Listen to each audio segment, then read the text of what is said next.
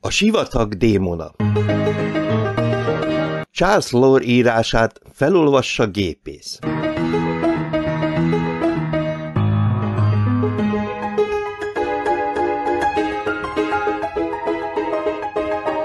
Az első fejezetből megtudhatjuk, hogy Algírban sem hosszabb a bicska, mint másutt. A pribék megismerkedik a nagyherceggel, de nincs benne köszönet. A helyiség összetörik, de a becsület éppen marad. És a fejezet végén megjelenik az új fiú.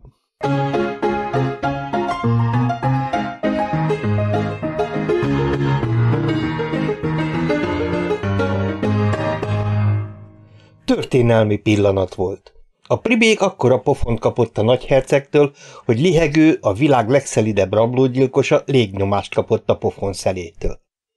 A pribék a pofon után hosszú időt töltött fekvő helyzetben a földön, aztán felkelt és kísérletet tett arra, hogy 35 cm-es bicskáját a nagy herceg mellébe döfje. A nagy herceg azonban kicsavarta kezéből a kést, és úgy gyomról hogy félájultan hanyatlott vissza a földre. Néhány percig mozdulatlanul feküdt ismét, aztán lassan felült. Révedező pillantást vetett a nagy hercegre, és szemrehányóan mondta.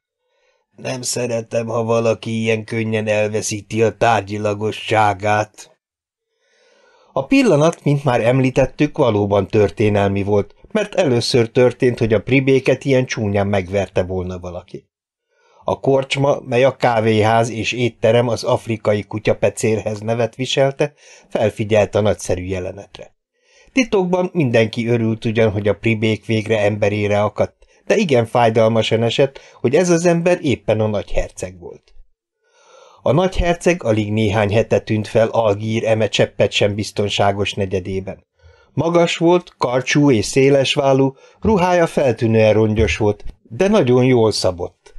Inget ugyan nem viselt, de balcsuklóján keskeny aranylánc csillogott, ami még elviselhető lett volna, de sajnos teljesen tönkretette az összbenyomást a nagyherceg cipője. A nagyherceg ugyanis mélyen kivágott, sejemszalaggal díszített lakfélcipőt, úgynevezett eszkárpent viselt, és az afrikai kutyapecél törzs vendégei valósággal epeömlést kaptak, ha erre a cipőre néztek. Ennek a cipőnek köszönhette a nevét is. Mikor először lépett be a korcsmába, és nyugodt lélekkel a söntéspulthoz ment, hogy néhány deci rumot fogyasszon, a törzs vendégek azonnal komoly vizsgálat alá vetették, és alaposan elbírálták. Ragyás a két méteres gengszter vette először észre a mélyen kivágott lakcipőket, és azonnal elhatározta, hogy beleköt a feltűnően öltözködő fiatalemberbe. Később, mikor ragyást már elvitték a mentők, a kutyapecér törzs vendégei megegyeztek abban, hogy az előkelő idegen elég rendes ember ahhoz képest, hogy úgy öltözködik, mint egy nagy herceg. Kenguru Joe, aki a ragyással való nézeteltérés alatt higgadtan számolt a háttérben, esküvel bizonyította később, hogy ragyás mint egy tíz másodperc alatt pontosan 23 őrületes pofont kapott.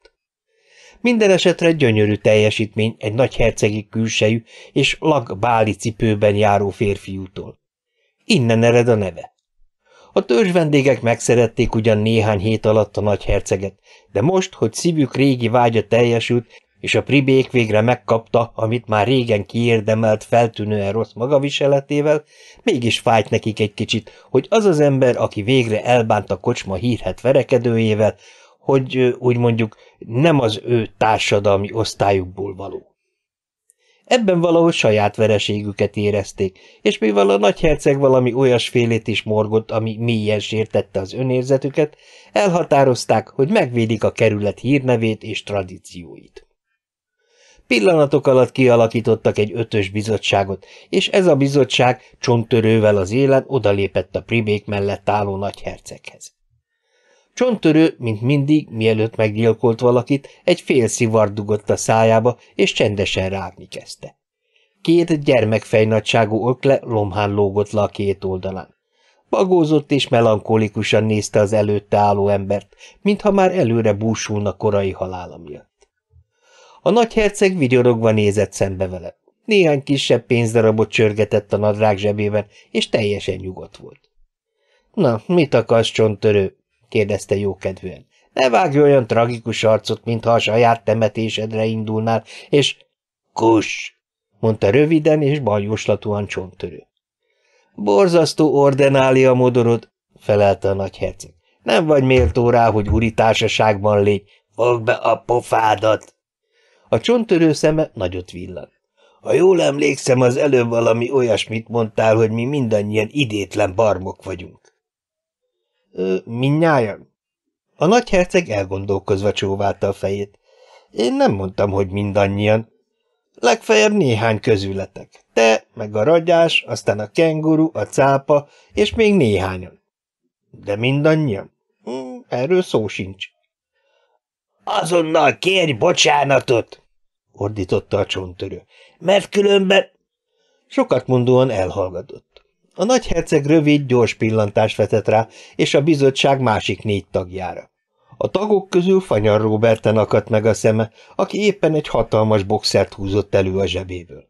Aztán ragyásra pillantott, és látta, hogy a gangster csendesen piszkálja a fogát egy 40 centiméteres konyhakéssel.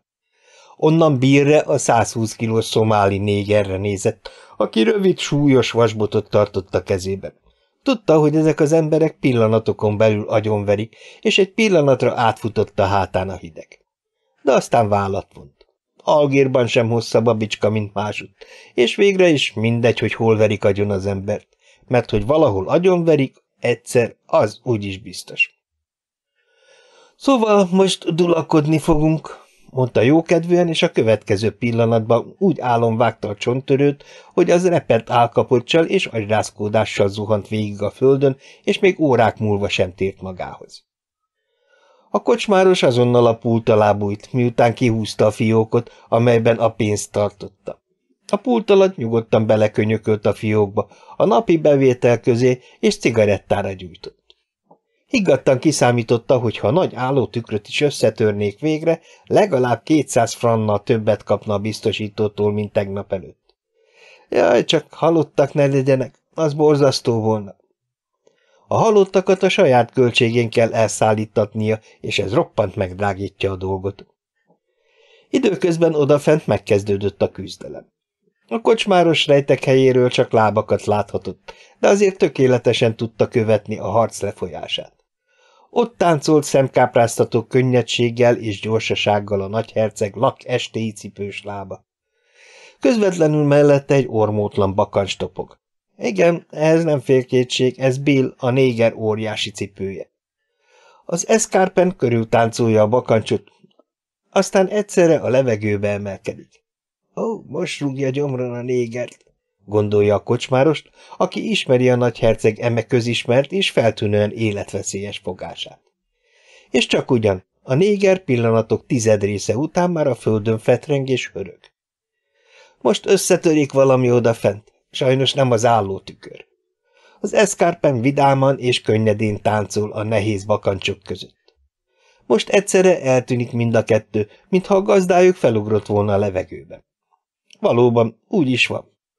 A nagyherceg csak egy gondolattal kerülte ki ragyás hatalmas konyhakését, és bár erősen vérzett a feje attól az ütéstől, amit Fanyar Robert boxere hasított a homlokán, volt még ereje és lélek jelenléte, hogy letépje a csillárt és belevágja a feléje közeledő bandába. Azok egy időre visszahőköltek, de végeredményben mégiscsak négyen voltak, és egy pillanatra leverték a lábáról a nagyherceget. Ha egy pillanattal tovább maradt fekve, akkor vége agyonrugdossák és kitapossák a belét.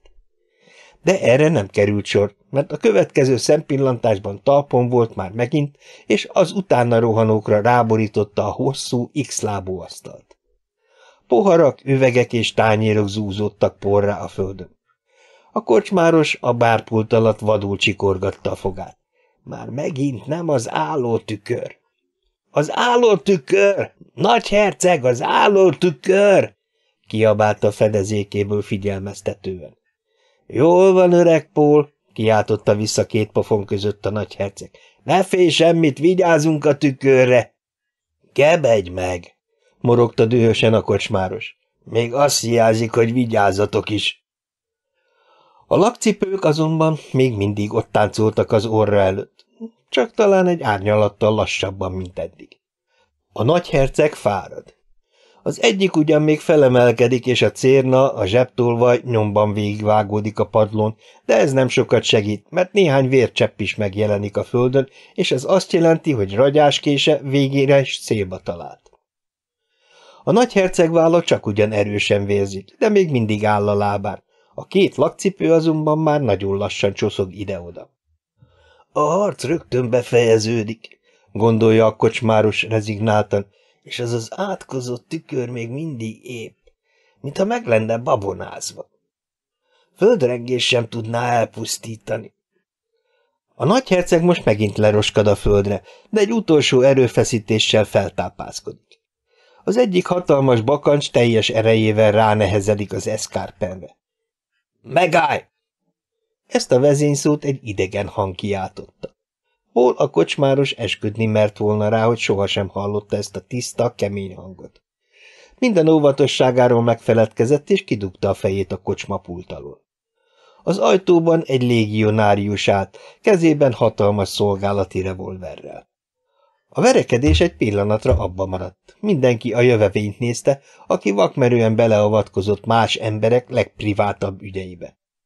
A kocsmáros is tudta, és a küzdőfelek is tudták, hogy ezt a légionáriust perceken belül meg fogják ölni, és ebben a revolver sem akadályozhatja meg őket, hiszen a légionáriusoknak nem szabad privát célokból a kincstári tárgyakat felhasználni.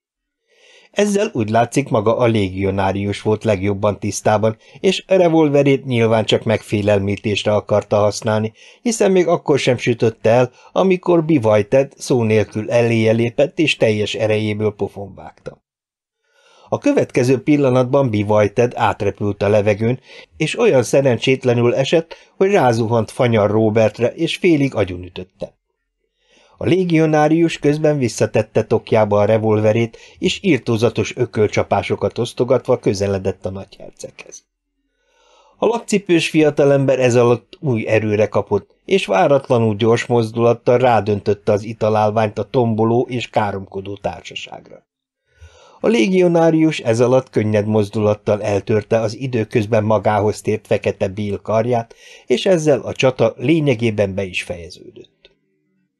A nagyherceg vigyorogva rázta le ujjairól a vért, és jobb kezével, megfogával ügyesen és nagy gyakorlatra vallóan bekötözte a vállát.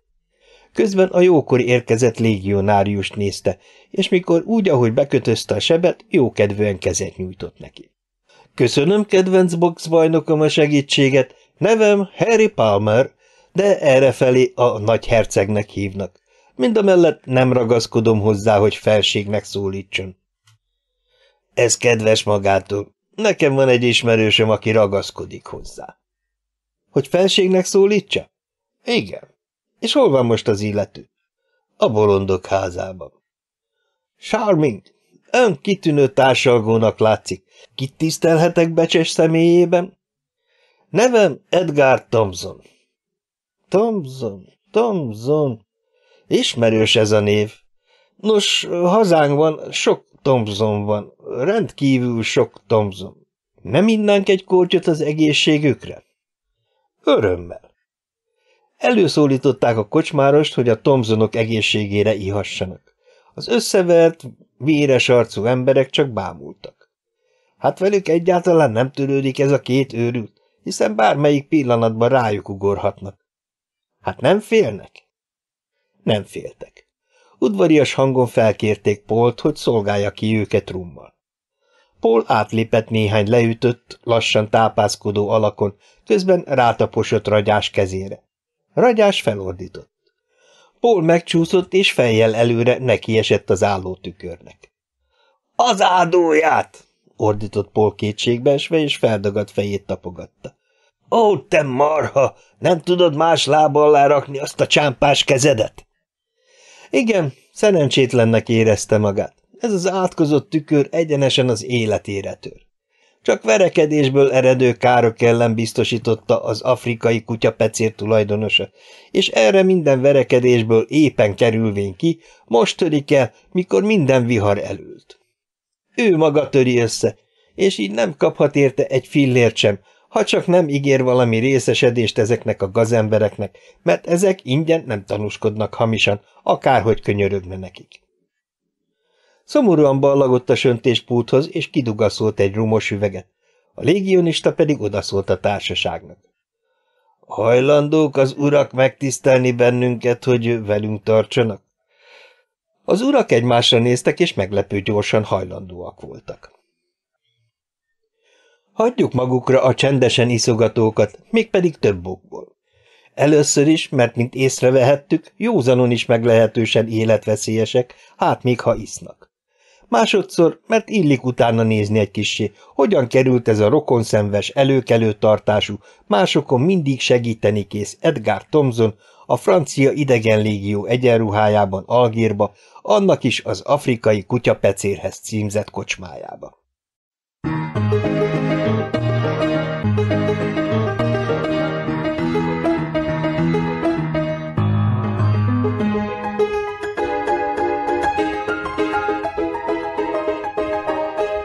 Második fejezetben megtudhatjuk, a márszeiek futóversenyt rendeznek. Az is kiderül, hogy nem az orvos rendelte nekik a sok testmozgást. Egy rendőrt leütnek a saját gumibotjával, hm, de nem baj. Megtudjuk, hogy mi a tabu, és Tomzon kilihegi magát. Legfőbb ideje.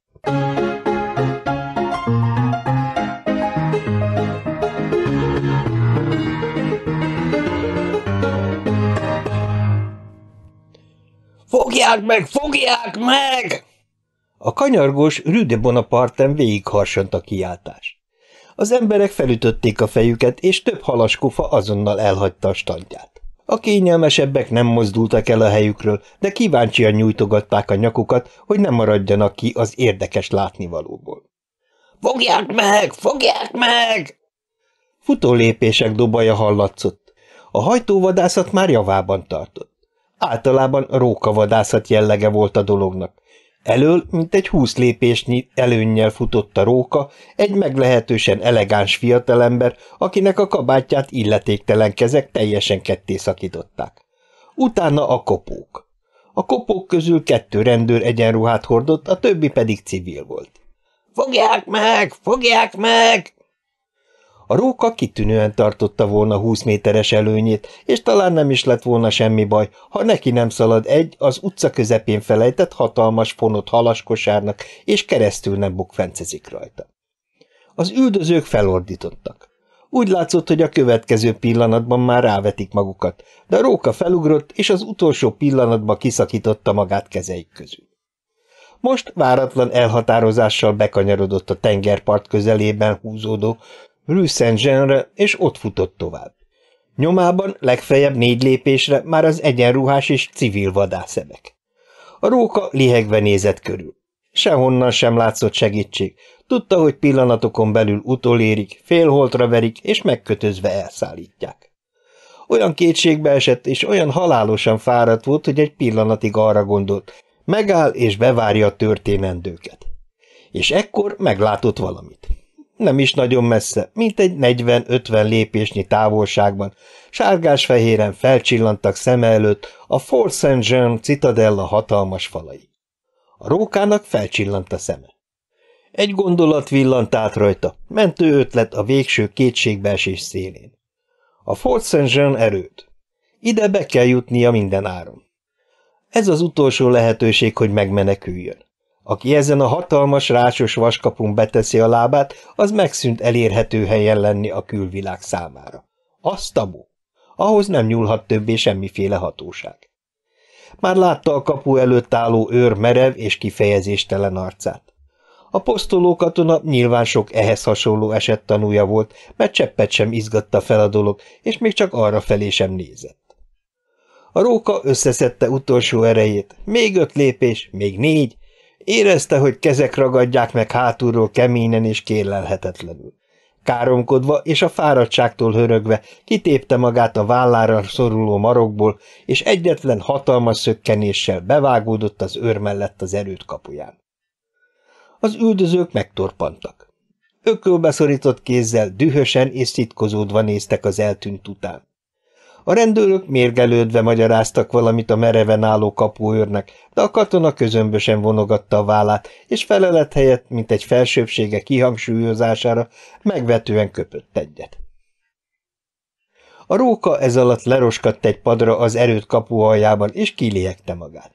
Legfőbb ideje volt. Szíve vadul dobogott a megerőltető futástól, halántékán kidagadtak az erek, és remegett a térde mikor úgy, ahogy kipihente magát, hajlandó volt arra is, hogy felelgessen a mellette ácsorgó és csendesen bagózó légionáriusnak, aki különböző kérdéseket intézett hozzá, nem hivatalosan, csak kíváncsiságból.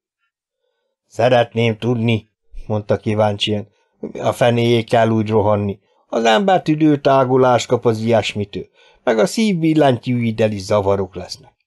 És különben is van egy közmondás. Lassan járj, tovább érsz. A róka elkínzottan nézett az előtte állóra. Igen, lekötelezne szép vitéz úr, ha egy árnyalattal kevésbé hülye kérdéseket intézne hozzám, ahhoz még egy kicsit fáradt vagyok. Hát mi a fenéjén rohan az ember, mit gondol? Nyilván azért rohan, mert kergetik.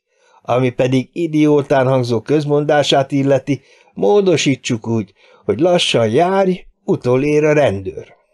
Avagy úgy mondta a katona, és elgondolkozva áttolta nyelvével a bagót jobb pofazacskójából a balba. Most már értem. És mond, mindjárt meghalt az illető? Miféle illető? Hát aki miatt kárgettek. A róka elnevette magát. Csak nem képzeled, hogy gyilkos vagyok. A katona vállat von. Miért ne? Kitíthatja meg ezt egy embernek? A róka már annyira kipihente magát, hogy volt ereje egy cigarettára gyújtani. Jól esett a füst, ahogy leszitta a széles tüdejére. Egyszerre a jókedve is visszatért. Ide figyelj, kedvenc harci paripám! Miután látom, hogy nagyon kíváncsi természetű vagy, és nem akarom, hogy azt hidd rólam, hogy valami garázda, kötekedő vagyok, közlöm veled, hogy rohanásom oka egyszerűen az volt, hogy fejbevertem egy rendőrt a saját gumibottyával. És meghalt. Már mondtam, hogy nem halt meg. Elájult, és ismervén a francia rendőrök szívós természetét, biztosra veszem, hogy már magához is tért. Tisztelem, becsülöm a francia nemzetet, de nem tudom megérteni, hogy egy ilyen semmiségért miért kell halálra hajszolni az embert. A másik elgondolkodva rátta a bagóját, és időnként ügyes mozdulattal leköpte a rókacipőjét. Utóvégre, mondta tűnődve. Mindenkinek tiszteletre méltó joga, hogy fejbe egy rendőrt vagy sem. Ha valakinek ez a szenvedélye, az ellen nem lehet semmit tenni. Ismertem valakit, aki annyira szerette az édességet, hogy több ízbe betört egy cukorka üzletbe. Volt egy igen kedves barátom, aki például előszeretettel metszette fel az idegen emberek hasát. Neki ez volt a szenvedélye. Harminc kettőbe akasztották fel. Nyugodjon békébe. A róka türelmetlenül legyintett. Adjuk ezeket a marhaságokat, könyörgöm. Ide figyeljen, katona úr! Szeretném, ha egyszer mindenkorra tudomásul venni, hogy nem vagyok ellensége a rendőröknek, és a legritkább esetben verem fejbe őket a saját gumibottyukkal. Egész egyszerűen az a tény, hogy a rendőr le akar tartóztatni, mert a kikötőben bizonyos ügyből kifolyólag olyan súlyos szemrehányásokkal illettem egy kövér urat, hogy az illetőt kórházba szállították. Miután semmi kedvem sem volt ilyen jelentéktelen dolog miatt a policiára fáradni, leütöttem a rendőrt a gumibotjával. Ennyi az egész. Remélem ez a magyarázat kielégít, amit szívből kívánok, mert nem igen tudom elviselni a kíváncsi embereket, és a türelmem végén előszeretettel rugom orba őket. A másik megértően bólintott. Jó van, jó van, végre is szóból ért az ember, minden esetre meg kell állapítanom, hogy rendes fiúnak látszol, és ha időközben nem várlek agyon, még nagyon jó barátok leszünk. Szerencsémnek fogom tartani. Egyébként Edgar Thompson vagyok. Örvendek. A nevem Larry. Abba kellett hagyniuk a beszélgetést, mert valaki kiszólt az irodaajtón, hogy az új ember jöjjön be. Ed Thomas tudta, hogy ő az új ember. Felállt és elindult az iroda felé. Hiába menekülésének ára van. Aki belép a francia idegen légió valamelyik erődítményének kapuján, megmenekül ugyan mindenféle zaklatástól és hatósági üldöztetéstől, feltéve, hogy nem francia, aki főben járó bűnt követel, de egyben elkötelezte magát, és már csak akkor léphet ki ismét az életmentő kapun, mikor behajózzák őket Afrika felé. Mindegy, neki pillanatnyilag az volt a fontos, hogy szabad lábon maradjon, és kiderítsen egy olyan dolgot, amely miatt már meghalt néhány ember. Hát, légionista lesz. Talán nem is ez a legrosszabb megoldás, és nincs kizárva, hogy ezen az úton közelebb jut a titok megoldásához. Egykedvűen mondta be az adatait az újoncozó őrmesternek. Egy óra múlva már ő is a francia Légion d'Étranger katonája volt. Az ezután következő napok azzal teltek el, hogy megtanulta a Leber puskával való vállásmódot, futó és fekvő gyakorlatot tartott az udvaron, tudomásul vette, hogy Kárpontyi őrmester a világ leggorombább embere, és megismerkedett többek között Szokolovval, az orosz Kalmük óriással, Alberta, a fiúval és Eisenfuss könyvelővel, akik később megosztották vele a nagy kaland izgalmas élményeit. Hat hét múlva pedig kifutott Marseille kikötőjéből az Esmeralda hajó, hogy az újoncokat Afrikába vigye.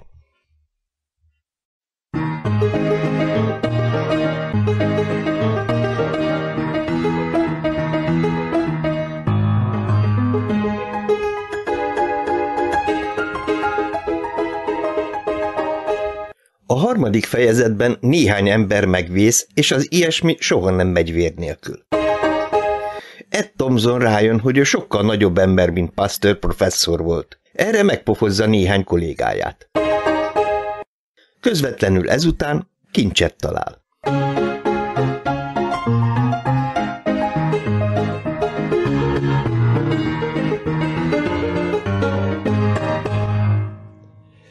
Augilla oázis helyőrségén a kaffár tünetei mutatkoztak. Ez a betegség épp úgy felüti a fejét a nagy szárasságok idején, amikor kiszáradnak a vádik, és izzani látszik az egész mérhetetlen nagy homoktenger, mint az esős évzak írtózatosan egyhangú napjai alatt. A katonák eleinte merev egykedvűséggel üldögélnek ágyaik szélén, vagy a kantin asztalánál, már a savanykás vörösbor és a csípős füstízű kaporál cigaretta sem ízlik, a pillantásuk révedezővé válik, pupillájuk kitágul, és úgy szólván teljesen érzéketlenné válnak. A második stádium a hirtelen kitörő cselekvési vágy.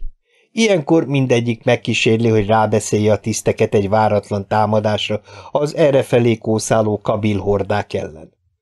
Akadnak olyanok is, akik egy fantasztikus szökést próbálnak, visszafelé az egész előttük elterülő sivatagon keresztül, sőt keresztül az Atlasz hegységen, amely mögött a jóindulatú Abur sejk várja a hozzácsatlakozó légionistákat, hogy hadseregébe vegye őket. Természetesen óriási fizetéssel és minimum őrnagyi ranggal. A kafard utolsó stádiuma már végzetes, és úgy szólván teljesen meggátolhatatlan. Ilyenkor az emberek már teljesen eszelősként támolyognak, míg végre lerázzák az utolsó pillanatig magukra erőszakolt önuralmat, beledöfik a rohamkésüket legközelebbi társukba, lemészárolják a tiszteket, és boldog, felszabadult, tébolyult örömmel nekivágnak a sivatagnak. Mennek, levetkőzve magukról mindent, ami emberi, kurjongatnak és lövöldöznek, amíg nem végez velük néhány jótékony kabli sortűz, vagy a nem sok idő múlva jelentkező agyérgörcs. Mikor Ed Thompson néhány héttel az algíri kocsmai verekedés után néhány társával együtt megérkezett Augillába, az ottani helyőrség több hónapos, keservesen egyhangú szolgálat következményeképpen már a Skaffard második stádiumában volt. Még megérkezésük estéjén közölte velük Lucien közlegény, hogy holnap hajnalban feltétlenül megindítják a hadjáratot az Egyesült Kabil és Berber hordák ellen. Még nem kapták meg ugyan az erre vonatkozó parancsot, de egy bizottság már felkereste Lam őrnagyot, hogy rábírja a parancs kiadására. Ed Thompson derült arccal hallgatta a beszámolót. No, az nagyszerű, mondta. Hát itt csak úgy meg lehet beszélni a tisztekkel, hogy mikor támadjunk és mikor nem. A tiszteknek is tudomásul kell venniük, hogy valami észszerű dolgot proponálunk, felelte Lucien közlegény. Ez a legjobb idő a támadásra. Ha ezt elmulassza az őrnagy, garantálom neked, hogy sohasem lesz belőle ezredes. Úgy? Hm-hm. Ed kutató pillantást vetett az előtte álló katona arcára. És hogy fogadta az őrnagy a prepozíciótokat? Hát, Lucien széttárta a kardjait, ami azt illeti, a bizottság tagjait szó nélkül kiköttette, de ez nem jelent semmit. Okvetlenül be fogja látni, hogy nekünk igazunk van, és biztosra veheted a holnap reggeli támadást. Megyek is rendbe hozni a bardámat. Elszaladt, mint akinek rendkívül fontos dolga van. Ed szomorúan nézett utána. Kaffár, gondolta, és elindult a közös hálóterem felé, hogy megismerkedjenek a többiekkel is.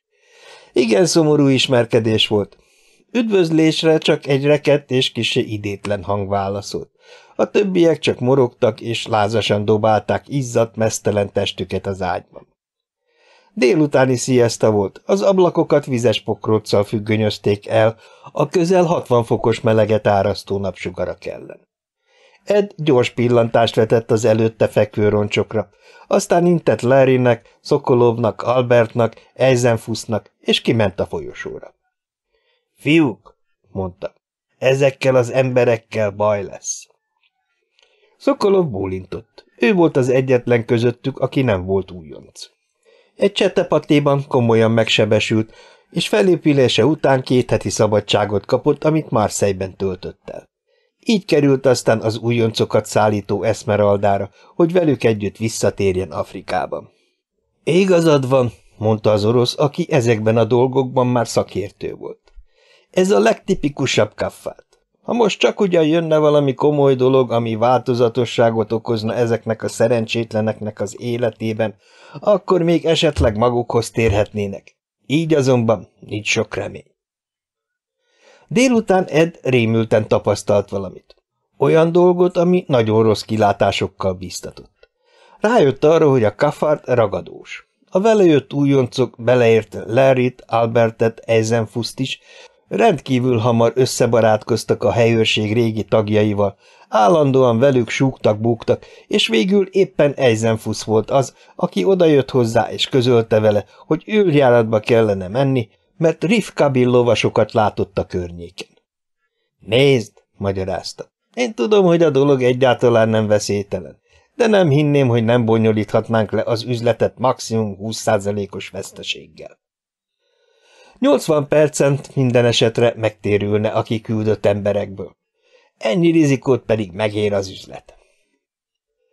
Fusz könyvelő volt civil életében. A cégnél, ahol dolgozott, egy ízben megbetegedett a főpénztáros, és a kassa körül adódó teendőket átmenetileg Eisenfuszra bízták. A főkönyvelő megszédült a szokatlan feladattól, és még aznap, alig néhány perces lelki tusa után, úgy szólván pillanatok alatt több mint 700 ezer franc sikkasztott. Mint nem egy sikkasztónak, így neki is a légió volt az utolsó menedéke viszont teljesen képtelen volt leszokni a beleidegződött üzleti kifejezésekről, a katonáskodást is, mint üzletet fogta fel, és minden lehetőséget percenttel mért. Szóval, őrjáratba szeretnél menni? érdeklődött szeliden Ed Thompson, és barátságosan Eisenfuss vállára tette a kezét. És ha szabad érdeklődnöm, mi közöd van neked ezekhez a dolgokhoz? Véleményem szerint arra valók a tisztek, hogy kiadják az ilyen parancsot. Az nem úgy van, kérlek, szabadkozott a könyvelő. Rendes alkalmazott nem szalad minden csekéséggel a főnökhöz. Meggyőződésem, hogy ezt az üzletet önállóan is lebonyolíthatom. És, mint mondtam, nettó 20%-os veszteséggel. Nem érdekel a dolog, öregem. Én már csak megvárom, amíg parancsot adnak. Úgy. És addig mit akarsz csinálni? Addig?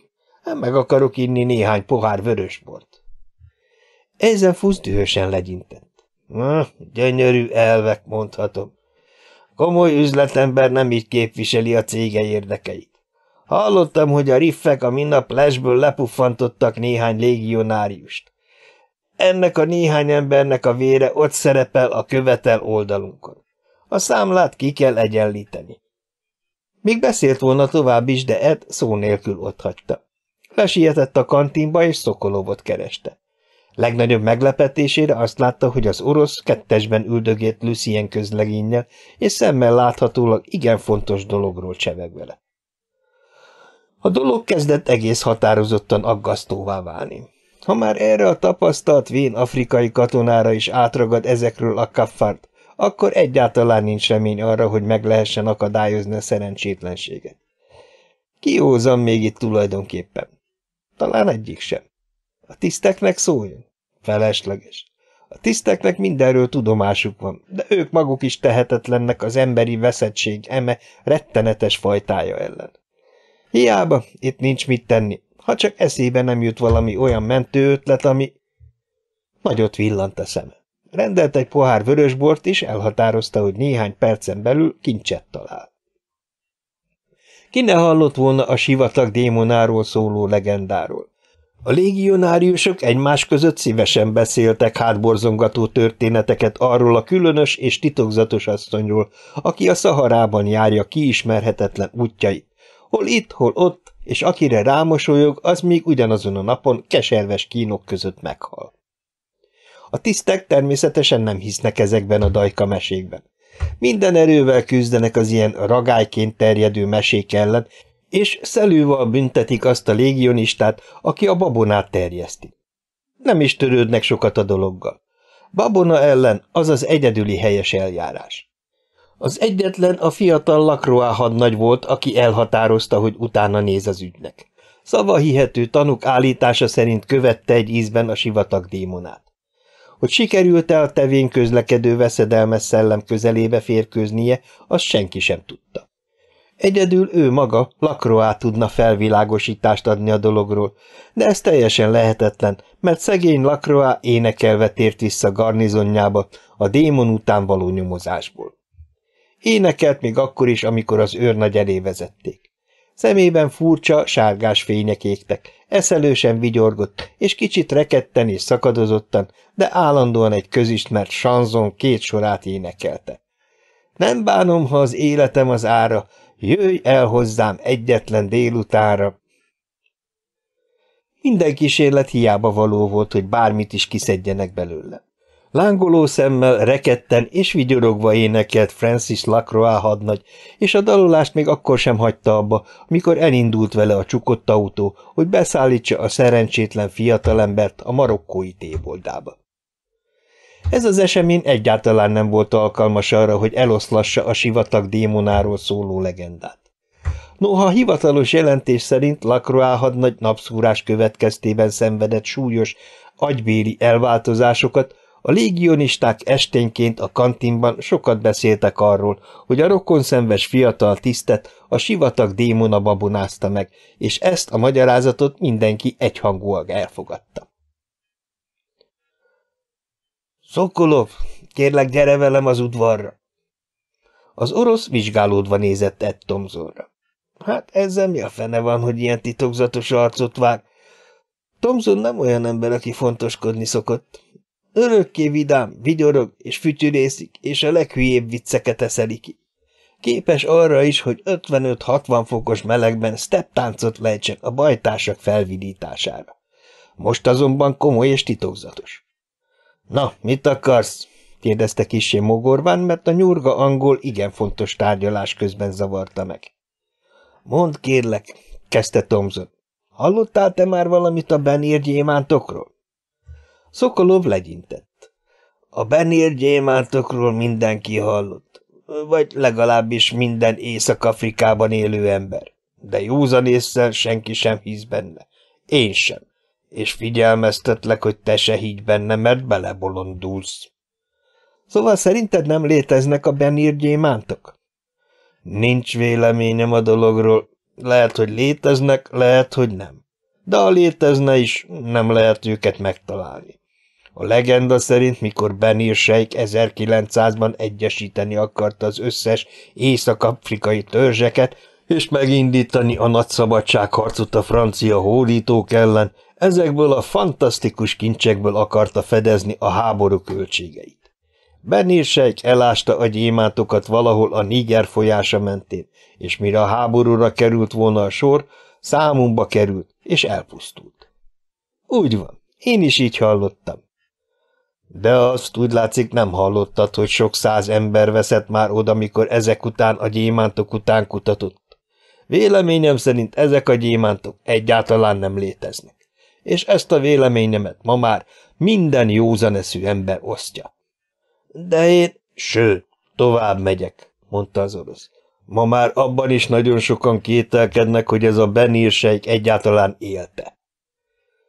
Thomson cigarettára gyújtott és elgondolkodott. Hát vett tudomásul, mondta végül, hogy a gyémántok valóban léteznek, és én azt is tudom, hogy hol vannak. Természetesen jogodban áll nem hinni nekem, de ezt már egyáltalán nem érdekel. Én megkísérlem, hogy megtaláljam, és ehhez néhány társat veszek majd magam mellé. Na, szervusz! Megfordult, és ott hagyta az oroszt. Szokolov kicsit dühösen, de igen megingott önbizalommal nézett utána. Szokolov, Albert, Larry és Eisenfuss együtt ültek ezen az estén a kantinban. Összedugott fejjel beszélgettek, és mikor Lucien közlegény hozzájuk lépett, kissé idegenkedve néztek rá. Lehet, hogy már holnap után nyílbe ütjük a dolgot, mondta Lucien. De Eisenfuss türelmetlenül közbevágott. Nekünk még meg kell gondolnunk, fiam, hogy benne leszünk-e az üzletben. Pillanatnyilag jobb árajánlatot kapunk. Tudja, a maga elgondolása nem rossz, de sajnos túlságosan nagy a rizikó. Megőrültetek? sukta dühösen Lucien. Most akarjátok elrontani a dolgot, mikor már minden a legnagyobb rendben van? Ne hallgassatok erre a hülye. Különben, ha sokat okvetentlenkedik, én is elintézhetem. Kirántotta a rohamkését, hogy ledöfje vele Eisenfuszt, de Larry, a szabó azonnal útszájon vágta, hogy két foga meglazult. Lucien elvágódott. Szokolov csak úgy félkézzel utána nyúlt, és egyetlen mozdulattal kidobta a kantinajtón keresztül az udvarra. Lehet, hogy elhírtelenkedjük a dolgot, mondta elgondolkodva Albert, a parkett táncos. Egyáltalán nem vagyok biztos benne, hogy Eddi valóban megtalálta a gyémántokat. Viszont ez a másik dolog cseppet sem rokon szenves nekem. Túlságosan sok férbe fog kerülni. Ha ezek az őrültek nem ragaszkodnának hozzá, hogy egyetlen tiszt kerüljön ki élve a dologból, hát nem mondom, de így, tudjátok, valahogy idegenkedem a vérengzéstől. Nem vagyok az, aki mondott grállovag. Otthon Párizsban meglehetősen rosszul bántam a nőkkel, kifosztottam és tönkretettem őket. Sokan igen szerencsétlenek lettek miattam. De ez mind más. Arra nem érzem képesnek magam, hogy bármilyen haszonért megöljek valakit. Vagy valakiket. Nem kutatom, hogy valóban léteznek-e eddi gyémántjai, de én minden esetre hozzá csatlakozom. Larry bólintott.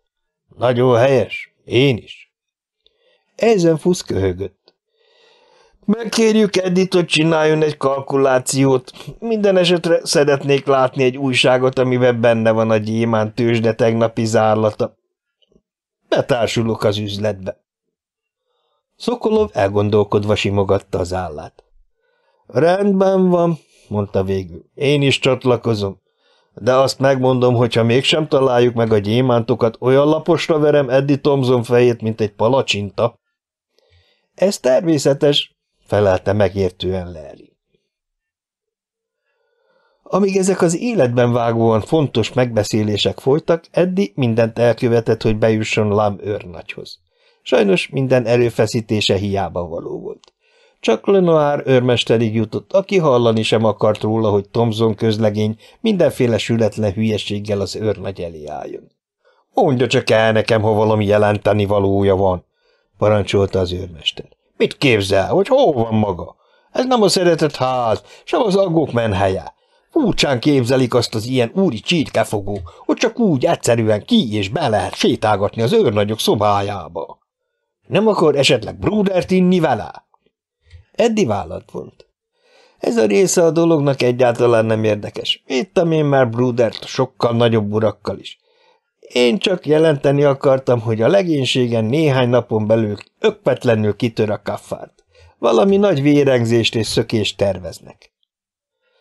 Lenoir őrmester hátratett kézzel sétált fel és alá, és időnként éles pillantást vetett a feszes vigyázban álló közlegényre.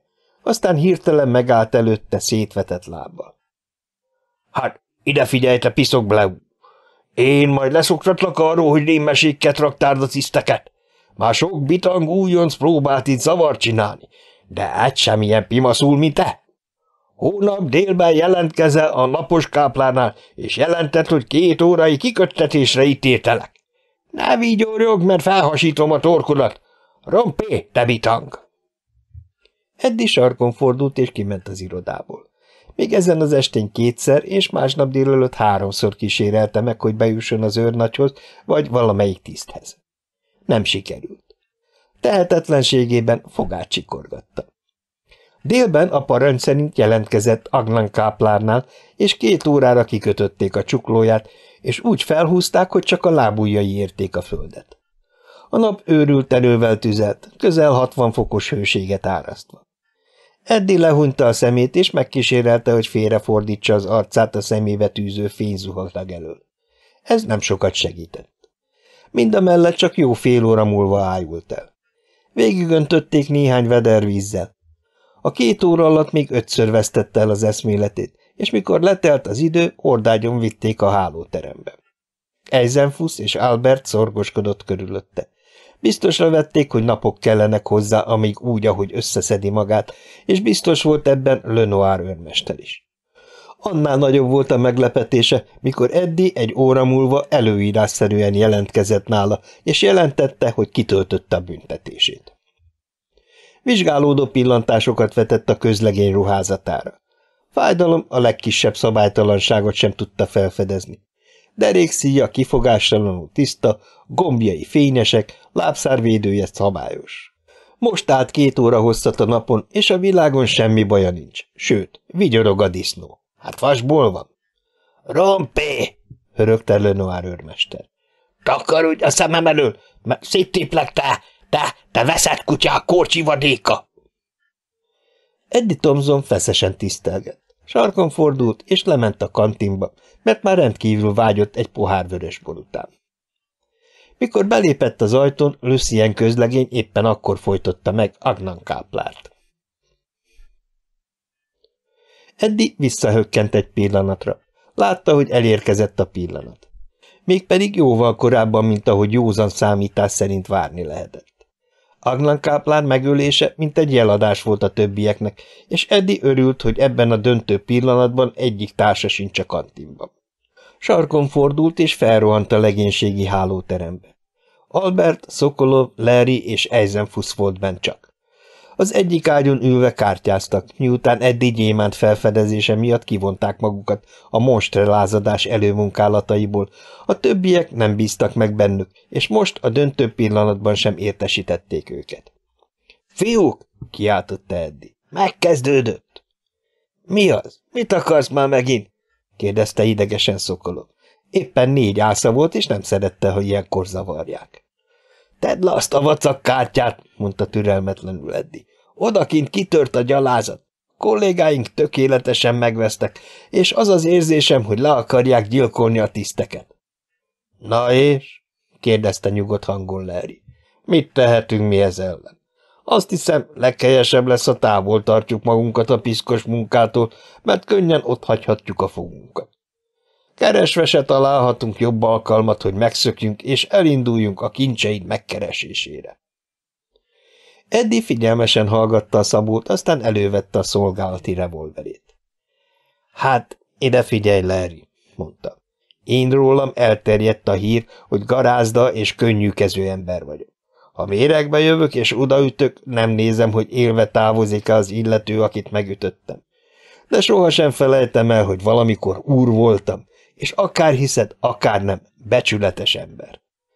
Én fedesküdtem a zászlóra, és ha azt látom, hogy ennek a zászlónak a tisztjeit lelketlenül fel akarják koncolni, Akkor oda megyek, és megpróbálok segítségükre lenni, ha addig élek is.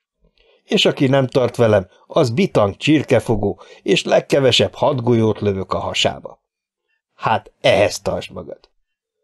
Eddinek igaza van, mondta Eisenfuss. Rendes ember segít, ha látja, hogy a cégfőnök bajba kerül. Úgy látom, túlórázni fogunk. Albert és Szokolov bólintott. Menjünk, mondta az orosz, és kezébe vette a revolverét. Albert követte a példáját. Most már Larry is beadta a derekát, és revolvere után nyúlt. Az öt ember végig sietett a folyosón. Alig tettek néhány lépést, mikor a folyosó kiszögellésében, ahol a tiszti szobák voltak, őrült lövöldözés dördült fel, amit hatalmas sortűz ropogása kísért. – Elkéstünk! – kiáltotta kétségbe esve Eddi. – Ezek már belekezdtek a véres munkába, de azért menjünk csak, talán még tudunk valamelyiken segíteni. Óvatosan súrantak végig a folyosón. A kanyarulathoz érve rettenetes látvány tárult a szemeik elé. Lam őr nagy szobája küszöbén féltestel a folyosóra zuhanva, vérbefagyva feküdt Ferrer hadnagy. Közvetlenül mellette, de kinn a folyosón, Lörang káplár feküdt, látszólag egészen éppen, de fej nélkül. Közben az irodában vadul durrogtak a revolverek, jelezve, hogy ott még tartja magát valaki. Talán maga az őrnagy. – Gyorsan be az első ajtón! – adta ki a parancsot Eddi. – Nem szabad, hogy észrevegyenek bennünket. Bevágódtak a jelzett ajtón. Ez az iroda mellékhelyiségébe vezetett, valami raktárfélébe. Innen átjáró volt a másik helyiségbe, ahol a harc dúlt. Óvatosan nyitották ki az átjáró ajtót. Eddi bedugta a fejét, de rögtön vissza is húzta, mert golyó süvitett el a füle mellett. Lám őrnagy van ott, és bárbié alhadnagy, közölte társaival. Az őrnagy úgy láttam, hogy megsebesült. Intett a többieknek, és hirtelen felrántotta az ajtót, egyben valóságos golyózáport zúdított a szobában lévőkre. Három lázadó azonnal elvágódott. Most a többiek is lőttek. Újabb két légionárius zuhant a padlóra. Egy golyó felhasította Larry vállát, egy másik Eddi homlokát horzsolta. Lam őrnagy ebben a pillanatban összeesett. Nyilván a nagy vérveszteség gyengítette el. Az egyik katona rohamkése azonnal felhasította a hasát. Szokolov marokra kapta revolverét, és egyetlen ütéssel szétzúzta a katona fejét. Közben Barbie alhadnagy is fitézül verekedett, és már-már úgy látszott, hogy sikerül legalább őt kiszabadítani a gyilkolási dühbe révült emberek karma közül, mikor váratlanul négy új ember nyomult a szobába, és első sortüzük nyomán Barbie alhadnagy is elesett. Vége! kiáltotta Edi. Visszavonulunk! Már nem volt semmi értelme, hogy tovább harcoljanak.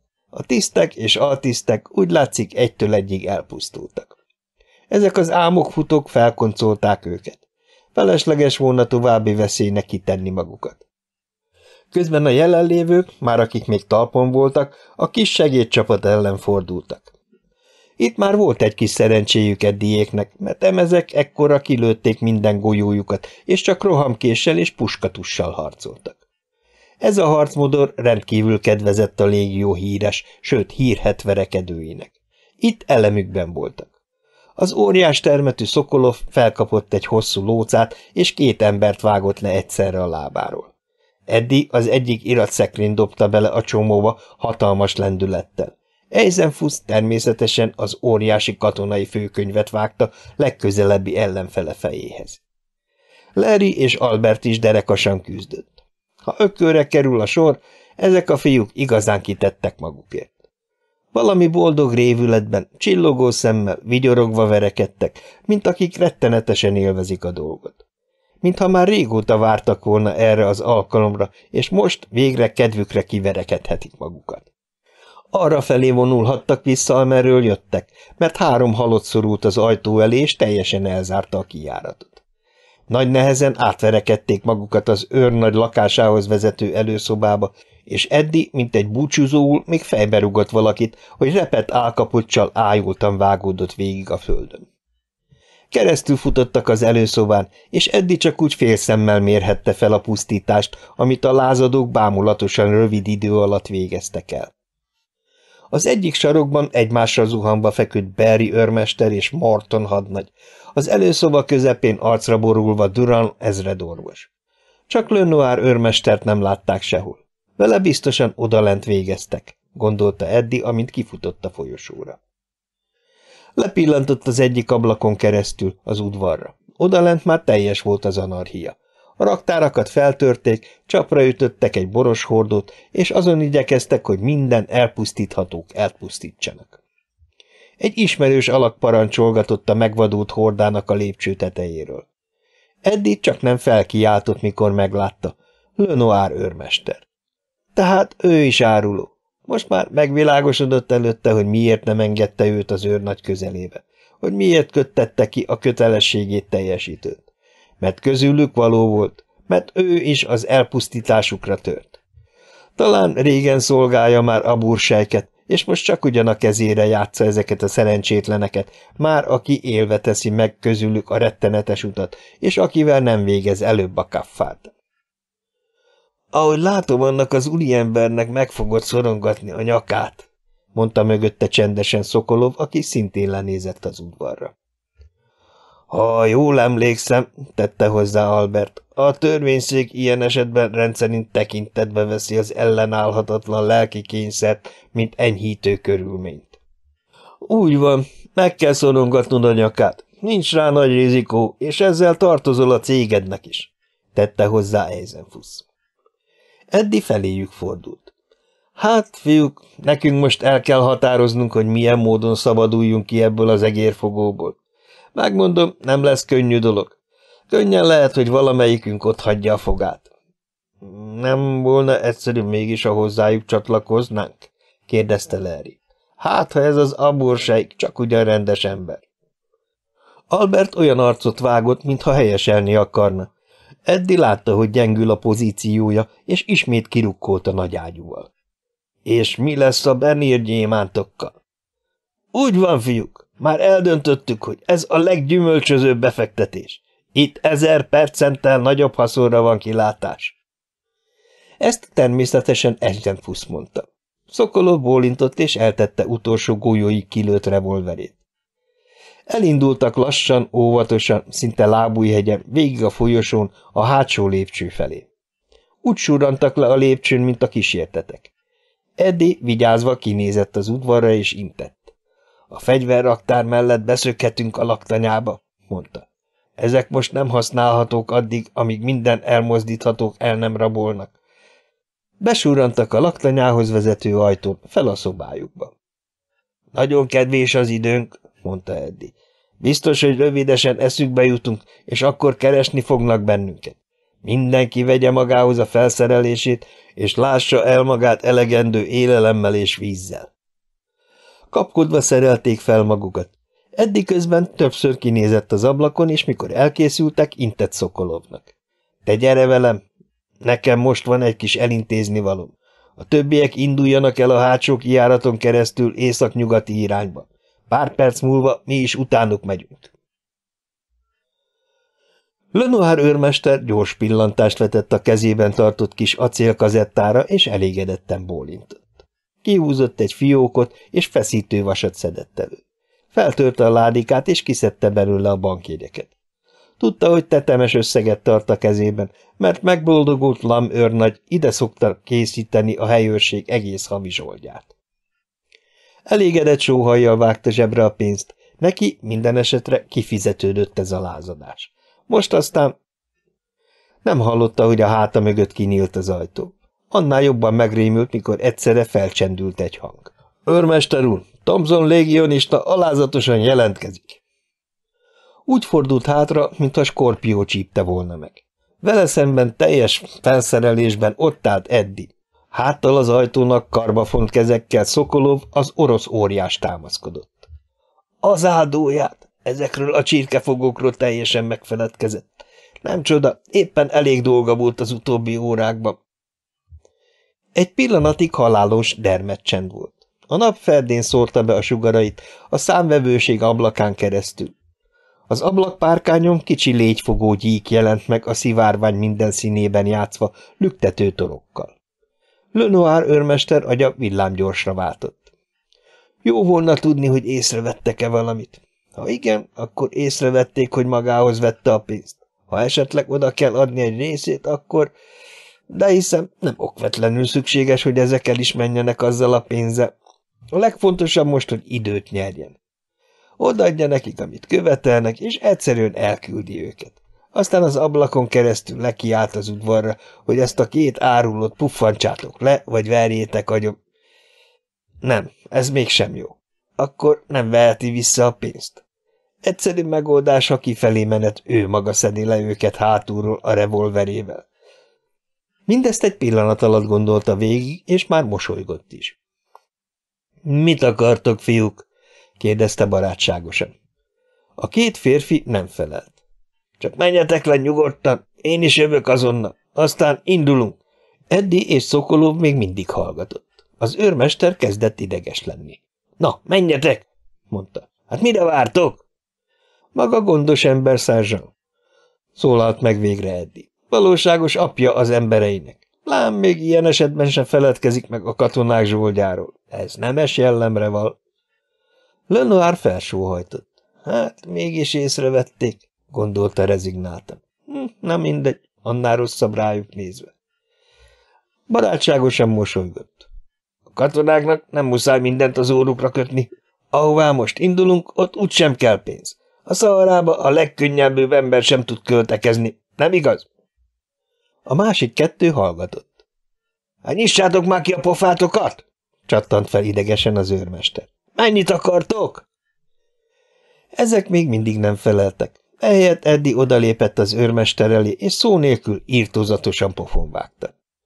Sergeant Lenoir fejjel előre neki zuhant egy iratszekrénynek, és betörte. – Te piszok! mondta fogcsikorgatva Eddi. Hát azt hiszed, hogy mindenki olyan koszos rablógyilkos, mint te vagy? Feláldoztad ezeket a szerencsétleneket a saját aljas céljaidra, és most még ráadásul ki is fosztod őket? Felkoncoltattad a tisztjeidet, akik megbíztak benned? Itt hagyod az erődit, mint bitangjára? Te hazaáruló! Minden mondat után egy ökölcsapás következett. Lenoir őrmester orrán és száján már dőlt a vér. Megkísérelte, hogy védekezzen, de teljesen tehetetlen volt a túlerővel szemben, aki érzéketlenül szórta az ütéseit, és megfontolta, szinte szemtelenül, valósággal gépiesen verte. Közben pedig folyton beszélt. Kiköttettél, te disznó? Szeretted volna, ha elpusztulok a napon, mert az utadban voltam? Azt akartad, hogy megdögöljek, te mocsok? Újabb borzasztó ökölcsapások, Szokolov higgadt nyugalommal nézi a háttérből, és most szólal meg először. Ne vedd egészen nagyon, Eddi. Szeretnék néhányat én is belerugni, mielőtt megtér őseihez. Eddi bólintott. Ez igazán érthető kívánság. Ennyit önzetlenül kell, hogy megtegyen derékbajtársának. Erősen vérzik a szája az őrmester egyik ökölcsapásától, de nem törődik vele. Megfogja Lenoárt, és hatalmas lendülettel Szokolov felé hajítja. Az őrmester valósággal belezuhan Szokolov öklébe. Úgy esik össze, mint egy letaglózott barom. Kihúnyó öntudatán átvillan, hogy az elején hibázta el a dolgot. Ordítania kellett volna. Talán meghallják az emberei, és feljönnek segíteni. Most már késő, nincs ereje hozzá. Elájult. Szokolov többször belerugott, hogy talán magához tér, de miután az első segélynyújtásnak ez a légióban és a környékén divatos módja nem használt, felemelte a puskáját, hogy egy ütéssel befejezte az egész ügyet. Hagyd, mondta Eddi, aki kiadta a mérgét, nem kell feleslegesen gyilkolnunk. Megkapta, amivel tartoztam neki, és ez elég. Összeszedte a holmiát, és rendbe hozta magát egy kicsit. Kiszedte az őrmester zsebéből a pénzt, betette egy borítékba, és ráírta, hogy a legénység zsoldja. Feltűnő helyre tette, hogy aki bejön, azonnal megláthassa. Nem vette észre, hogy az őrmester időközben magához tért ájulásából, pedig Lenoir őrmester olyan ember volt, akit több figyelemre kellett volna méltatni. Lövés dördült, és Eddi érezte, hogy megrándul a puska szíja. Villám gyorsan fordult az őrmester felé, Lenoir ott feküdt a földön, félkönyökre támaszkodott, és kezében még füstölgött a revolver. Már emelte ismét, hogy elsüthesse, de Szokolov ekkor hatalmas tigris ugrással rávetette magát. Óriási marka roppanva szorult össze az őrmester torkán. Szokolov aztán feltápászkodott, és nyugodtan leporolta a ruháját. Lenoir ekkor már nem élt. De most aztán rohanjunk! Ezt Eddi mondta. Gyors pillantást vetett a szobára, Lenoir őrmester mozdulatlanságba dermedt testére, és Szokolovtól követve kirohant az irodából. Lekanyarodtak a hátsó kijárat felé. Nem volt egyetlen elvesztegetni való percük sem, hiszen az udvaron lévők biztosan meghallották a lövést, és egyáltalán nem volt tanácsos a körülmények változása folytán a kezük közé kerülni. Kiléptek a hátsó kis vaskapun az erődből. Hónuk alá kapták a puskájukat, és teljes erejükből futni kezdtek.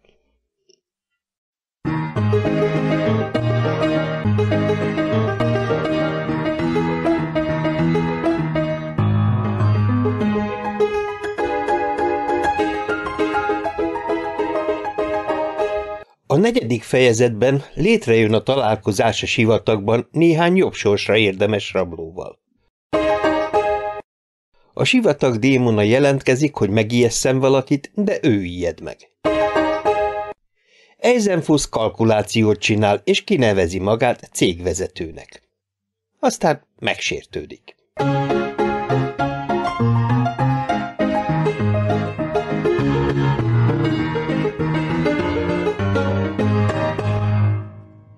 Egy óra múlva sikerült utolérni a többieket. Egészen nyugodtak voltak, mint akiknek fogalmuk sincs róla, hogy társaik micsoda poklot hagytak maguk mögött. Albert zsebre dugott kézzel ment, és párizsi dalokat adott elő két társának. Larry egykedvűen bagózott. Eisenfuss pedig szörnyen panaszkodott a meleg miatt, és kijelentette, hogy szívesen venne igénybe egy hónapi fizetéses szabadságot, amit természetesen az északi sarkon töltene el. Eddit és az oroszt kitörő örömmel fogadták, csak akkor lohat le a kedvük, mikor Eddi, aki ismét átvette a parancsnokságot, erőltetett menetelést vezényelt. Addig nem érezhetjük magunkat biztonságba, amíg jó néhány kilométernyire magunk mögött nem hagyjuk a dzsillát, magyarázta. Aztán közölte velük Lenoir őrmester halálát, ami csodálatosképpen senkit sem fakasztott könnyekre. Eisenfuss jegyezte meg csupán, hogy hagyhattak volna neki is valamit az elköltözöttből. Néhány rugással szerepelt nálam a követel oldalon, mondta. Most aztán sztornírozhatom az egészet. Azt is sajnálta, hogy Eddie nagylelkűen otthagyta a pénzt. Ők maguk nagyobb hasznát vehették volna. Szeretném tudni, mondta Albert, miért vagy te nagylelkű egy csomó gyilkossal szemben, akik téged is, minket is meggyilkoltak volna, ha kézre kerítenek? Azért vagyok nagylelkű, mert azok nem csak gyilkosok, hanem szerencsétlen beugratott emberek is, és mert ezzel a nagylelkűséggel akarom magam megkülönböztetni tőlük. Erre nem volt mit felelni. Kicsit elkomolyodva mentek tovább. Este nyolc óráig maguk mögött hagytak teljes tizenkét kilométert. Eddi csak akkor engedélyezett pihenőt, mikor már biztos volt benne, hogy az esetleges üldözőik már semmi körülmények között nem érhetik őket utol. Leverni a bardákat, mondta. Köveket gyűjteni, itt töltjük az éjszakát. Sátrat vertek, és a kis tábort előírásszerűen egy méter magas fallal vették körül a percek alatt összeszedett kövekkel. Tüzeket gyújtottak, és elővették a konzerveket. Eisenfuss bebizonyította, hogy nem csak kitűnő könyvelő, hanem a kávéfőzéshez is rendkívüli módon ért. A rájuk szakadt hűvös estében jól esett a forró kávé. Ittak és cigarettáztak, és az eljövendő gazdagságról beszélgettek. Eddi nem szólt bele a társalgásba. Szokása ellenére rendkívül komoly volt, és szótlanul nézte cigarettája parazsát. – Hát neked mi bajod? – kérdezte Larry. Olyan komor vagy, mintha megbabonázott volna a sivatag démona. E, micsodája? Démona. Csak nem akarod azt mondani, hogy nem hallottál még a sivatag démonáról? Hát, neved rossz néven, de azt akarom mondani, felelte Eddi. Lehet, hogy most műveletlennek fogsz tartani, de mégis így van. Ki az illető, és mivel érdemelte ki a, a jól hangzó démon nevet? Hát... Larry kicsit bizonytalan mozdulatot tett. Őszintén szólva, én még nem láttam, de azt mondják, hogy ilyen szép nő nem szaladgált Afrikában még. Szóval hölgy az illető. De milyen? Na, ez érdekes. Nem is volna utolsó dolog agyonütni a társadalomban ezeket az eseménytelen és unalmas napokat. Ezt ne kívánt, mondta ilyetten Larry. Köztudomású, hogy akire rámosolyog, az még aznap meghal. Hát ez kellemetlen, szögezte le Eddi. Szóval senki sem számolhat be róla személyes élményekkel kapcsolatban? Nem, felelte Larry, mert aki látta egyszer is, az meghalt. Mind? Mind. Tévedsz, szólalt meg egyszerre Szokolov. Nem mindenki halt meg. Én is láttam a sivatag démonát, és mégis élek. Igaz, hogy csak valami csoda mentett meg. Elhallgattak, és az oroszra néztek. Szokolov komor volt, és tűnődve szívta cigarettáját. Aztán csendesen megszólalt. Belavesztől indultunk Murzuk oázis felé a nagy téli hadjárat idején. Mondhatom, kutya nehéz menetelés volt. Az emberek már az út felénél egymás után dőltek ki. Közben az előösbe küldött és állandóan cirkáló beduin lovasok sem hagytak nekünk útszóván egy pillanatnyi nyugtot sem. És minden gyengénket tudták, mintha a valóságos kémszervezet dolgozott volna ellenünk. A tulajdonképpeni hadjárat még nem is kezdődött meg, és mi már öt ízben szenvedtünk kisebb-nagyobb vereséget. A tisztek dühösek voltak és szitkozódtak. Az őrmesterek úgy káromkodtak, mint a jégeső. A katonák fásultan és erőtlenül mentek. Ha harcra került a sor, harcoltak, de minden meggyőződés nélkül, mert mindenki érezte, hogy ebbe a rosszul indult hadjáratban el kell pusztulniuk. Pár pillanatig hallgatott, levert a cigarettája hamuját, és csendesen folytatta. Aztán egyszerre elterjedt a hír, hogy a sivatag démona jár előttünk, és az okozza minden szerencsétlenségüket. Durán közlegény lihegve rohant hátra, és jelentette Lar kapitánynak, hogy egy különös alak halad alig fél kilométernyire az elővéd előtt teveháton. Hol eltűnik a dombhajlások mögött, hol felbukkan újra. Lor kapitány azt mondta, hogy agyrém, de minden esetre kiküldött egy őrmestert négy emberrel, hogy derítse fel a terepet. Az őrmester azzal jött vissza, hogy senkit sem látott. Az amúgy is ideges kapitány fél vízadaggal büntette Durant a rémhírterjesztés miatt. Pólik hadnagy, az ezred legemberségesebb tisztje végighallgatta a jelenetet, és szöget ütött a fejébe a dolog. Előre ment az elővéthez, és most már ő is figyelt. Egy barátom mesélte aztán, hogy kis idő múlva megint felbukkant a sivatag démona. Ez a barátom derék, megbízható fiú volt. Rablógyilkossággal körözték, ami elég bizonyíték arra, hogy nem ugrik be minden babonának, hanem legény a talpán, aki nem ijed meg egykönnyen a maga árnyékától. Szóval megint felbukkant a démon, és most már Pólik hadnagy maga vette üldözőbe. Mindössze két embert vett maga mellé, az egyik vissza is tért Pólik hadnaggyal, a másikat azonban lelőtték a beduinok. Ez a fiú aztán elmesélte, hogy nyugodtan mentek, mert nem láttak semmi gyanúsat, mikor egyszerre mindössze vagy ötven lépésnyire kibukkant előttük a démon. A hadnagy ráordított, hogy álljon meg, de az úgy tett, mintha nem is hallotta volna. Pólik sarkantyúba kapta a lovát, és utána vágtatott. A két ember lemaradt mellőle. Csak hamar eltűntek egy homokdom mögött. Beletelt egy negyed órába, mikor az erőltetett menetben utánuk siető emberek újra megpillantották a hadnagyot. Akkor már visszafelé jött, és igen furcsa volt az arc kifejezése.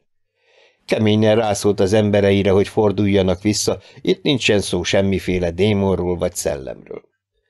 Egy kabil előös lehetett, melynek az volt a feladata, hogy felderítsen bennünket.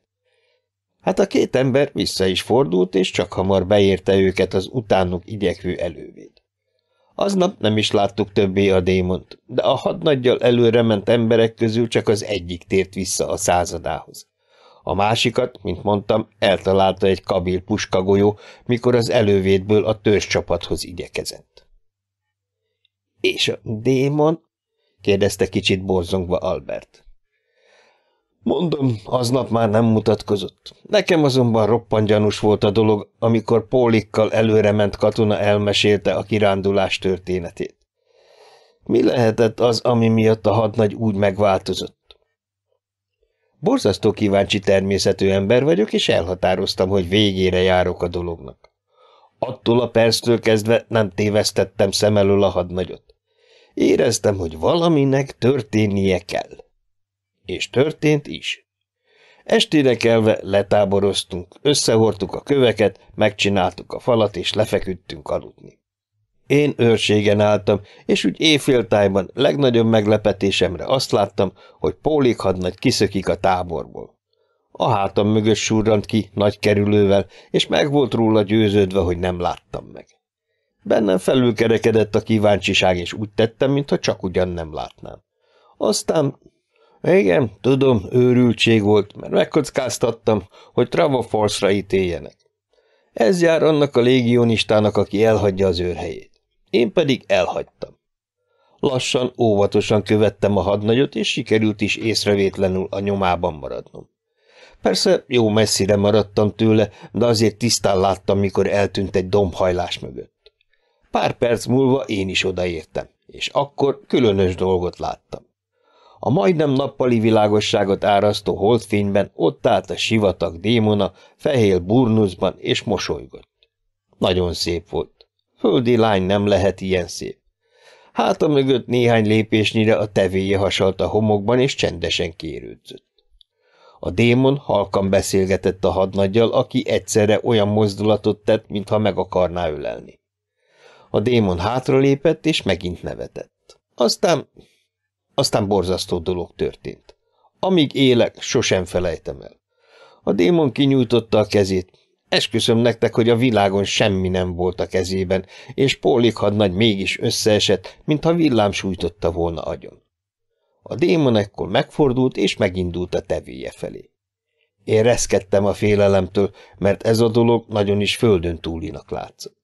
Nem vigyázhattam eléggé, mert egyszerre visszafordult, megfeszített figyelemmel nézett körül, éppen abba az irányba, ahol én voltam. Nagyon megrémültem, ha észrevesz, végez velem, épp úgy, ahogy a szegény Pólikkal tette. Ti talán lenéztek most, hogy féltem egy nőtől, aki még ráadásul fegyvertelen is, de lássátok be, hogy valaki egyszerűen felemeli a kezét, és erre egy keménykötésű, erőteljes, fiatal tiszt összeesik, akkor az ilyesmit nem lehet földi dolognak minősíteni. Mondhatom nektek, hogy szívesebben mennék neki egy szárohamkéssel a leghatalmasabb hímoroszlánnak, mint talpig felfegyverkezve ennek az ördögi nőnek. Elhallgatott, mint aki ellentmondást vár, de csak Eddi szólalt meg. Érdekes. Folytass csak.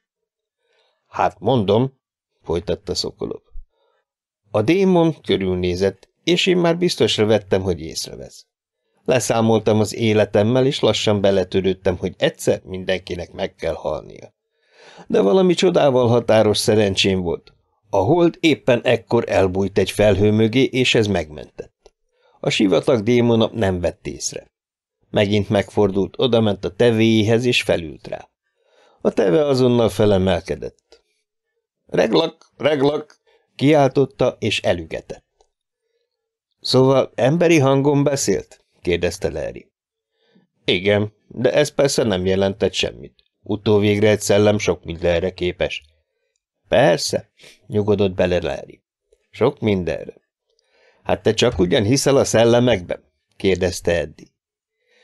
Az orosz rávetette sötét pillantását.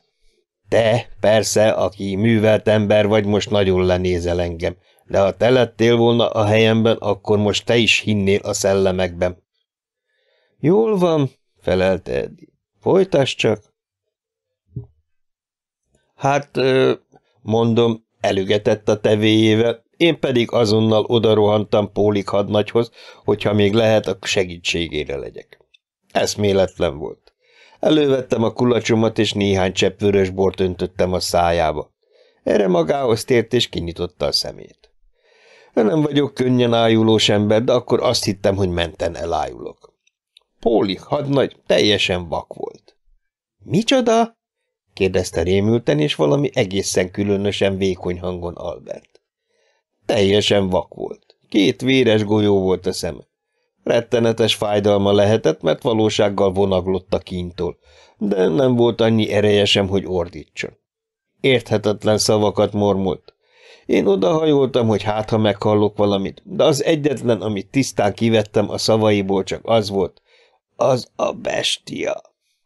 Aztán vonaglott még egy kicsit szegény. Egyet-kettőt rándult, és vége volt. Borzasztó, morogta Eisenfuss. Erre az üzletre alaposan ráfizetett. Egy pillanatig azon töprengtem, folytatta Szokolov, hogy visszavigyem-e a táborba, de aztán eszembe jutott, hogy akkor megtudják, hogy elhagytam az őrhelyemet. Ő rajta szegényem már úgysem segíthettem, hát inkább úgy döntöttem, hogy mégsem viszem el. Megfordultam és elindultam visszafelé, és akkor halkan, elmosódottam, nagyon messziről felhangzott egy dal két sora.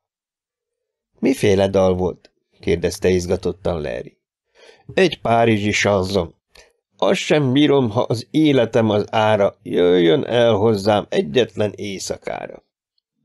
Úgy van, felelte Larry. Mi van úgy?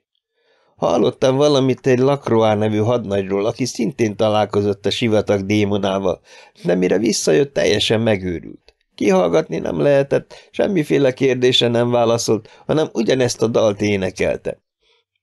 Ismerem ezt a dalt, jegyezte meg Albert. Párizsban nagy sláger volt vagy két évvel ezelőtt, különösen az éjszakai életben. Akkoriban minden lokálmacska ezzel a slágerrel az ajkán lett öngyilkos. Kis ideig hallgattak, aztán Eddi megszólalt. És mond Szokolov, biztos vagy benne, hogy annak a nőnek, annak a nőnek a kezében valóban nem volt semmi? Egészen biztos. Valami kis üveg? Semmi. Tudom, arra gondolsz, hogy valami vegyi anyaggal megvakította. De hidd el, én láttam volna. Teljesen üres volt a keze. És másnap, mikor rátaláltak a holttestre, nem vizsgálták meg az orvosok? Szokolov egy pillanatig hallgatott. Éppen ez az érdekes, mondta. Nem találtak rá a holttestre. Edi felugrott. Ez még neki is sok volt. Micsoda? Hidd el, ha mondom. A holttest reggelre eltűnt. Ellopták? Eltűnt. Fogalmam sincs róla, hogy mi történt vele. És én nem szólhattam egy szót sem, mert akkor megtudják, hogy elhagytam az őrhelyemet. Hát, ez meglehetősen titokzatosan hangzik, mondta Eisenfuss kicsit idegesen. Az ilyen üzletekből csak baj lehet. Hol van itt a realitás? kérdem én a mélyen tisztelt közgyűléstől. Erre csak ráfizetni lehet, uraim, és az a véleményem, hogy nem kell többet foglalkozni vele. Nagyon nagy a kockázat. Úgy, mondta csendesen Eddi, aki eddig töprengve nézett maga elé. Szóval a holtest eltűnt. Úgy van, felelte Szokolov. Ebből is láthatod, hogy egyáltalán nem természetes a dolog. Ellenkezőleg, felelte Eddi. Éppen ezt teszi egyenesen egyszerűvé és érthetővé. Sőt, tovább megyek. Ez teszi emberivé az egészet. Szokolov megütődve nézett rá. Nem értem, mondta. Mert nem gondolkozol logikusan. Hát mit gondolsz, miért tűnt el az a holtest? Egyszerűen azért, mert nem akarták, hogy vizsgálatot indítsanak a haláleset miatt. Nem akarták, hogy orvosi vizsgálatnak vessék alá, mert akkor kiderült volna, hogy mitől halt meg. De én mondom, hogy hozzá sem ért. Ne veszély bolondokat, csak úgy egyszerűen minden külső behatás nélkül megvakult és meghalt. Hát ilyen nincs, édesfiam. Ez természet fölötti volna. Tudom, annak is tartom. Mert téged is megfertőzött az a hülye babona. Kísértetek nincsenek, sem pedig démonok. Tehát? Tehát a démonnak és a társainak el kellett tüntetni a holttestet, mert másképp kiderült volna, hogy egyszerű emberi, szóval földi gyilkosság történt. Nekik pedig nyilván az az érdekük, hogy a katonák valami földön túlit lássanak a sivatag démonában. Éppen ez mutatja, hogy van félnivalójuk, és az orvosi vizsgálat vagy az esetleges boncolás okvetlenül kiderítette volna a gyilkosság módját. Szokolov hallgatott egy darabig. Lehet, mondta végül. De hogy magyarázod meg az eltűnését és felbukkanását? Az még az előbbinél is egyszerű. Te magad mondtad, hogy nagyon dombos vidéken mentetek. Nincs annál könnyebb, mint elbújni egy domb mögött, esetleg megkerülni az egészet, és kibukkanni megint a másik oldalon. Jó, mondta az orosz. Lehet, hogy igazad van. De mi a magyarázata a Lökroá hadnagy megőrülésének? Hát, látod, ezt az egyet én sem tudom megmagyarázni, de az egyetlen, ami csak ugyan démonikus az egész históriában. Nem mondanád meg egyébként, hogy nézett ki ez a kísértet? Már mondtam, hogy feltűnően szép. Még nem is láttam földi halandót, aki ilyen szép lett volna. Mikor ott állt a holdfényben, igazán csak a félelem tartott vissza attól, hogy oda hozzá. A fehér burnusz alól elővillant a bronzvörös haja, a szeme zölden szikrázott, és a fülében két rubin fülbevalót viselt. Mi az? Mi van veled? Megőrültél? Ez Eddinek szólt. A fiatal légionárius ugyanis ebben a pillanatban felugrott, neki esett Szokolovnak, megragadta a torkát, és teljes erőből megrázta. – Mit? Mit mondtál? Rubin fülbevalók? – Igen, igen, azért nem kell még az embert megfojtani. Eddi elengedte az orosz torkát, és megtörölte veretékes homlokát. Iga, igazad van, bocsáss meg. Kicsit ideges vagyok, de biztosan Rubin fülbe való volt? Egészen biztosan. De magyarázd meg végre. Most nem, majd egyszer. Neved rossz néven, hogy, hogy erőszakoskodtam. Majd később mindent megértesz. Lihegve ült vissza a helyére, és csak percek múlva szólalt meg. Egyet azonban már most közölhetek. A sivatag démonától ne féljen senki, mert ilyen nincs. De ha én láttam, nem démon volt, ember volt, a leglelketlenebb és legaljasabb asszony személy, aki valaha élt. A többiek hallgattak. Eddig kis idő múlva hozzátette. Miatta halt meg az öcsém.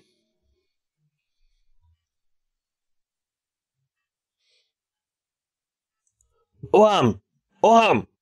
Az alvó katonák felugráltak és fegyverükhöz kaptak. A kiáltozó Albert ott állt a kőfal szélén és a távolba merett. Puskáját súlyban tartotta, de nem sütötte el. Nem is lett volna sok értelme, mert úgy remegett a keze, hogy három lépésről is elhibázott volna egy oroszlán. – Mi az? Mi történt? – kérdezte Szokolov. – Ott a, a, a dombhajlás mögött. A húsz lépésre lévő homokbuckára mutatott. Ott, ott, ott, ott mozgott az előbb. Kicsoda?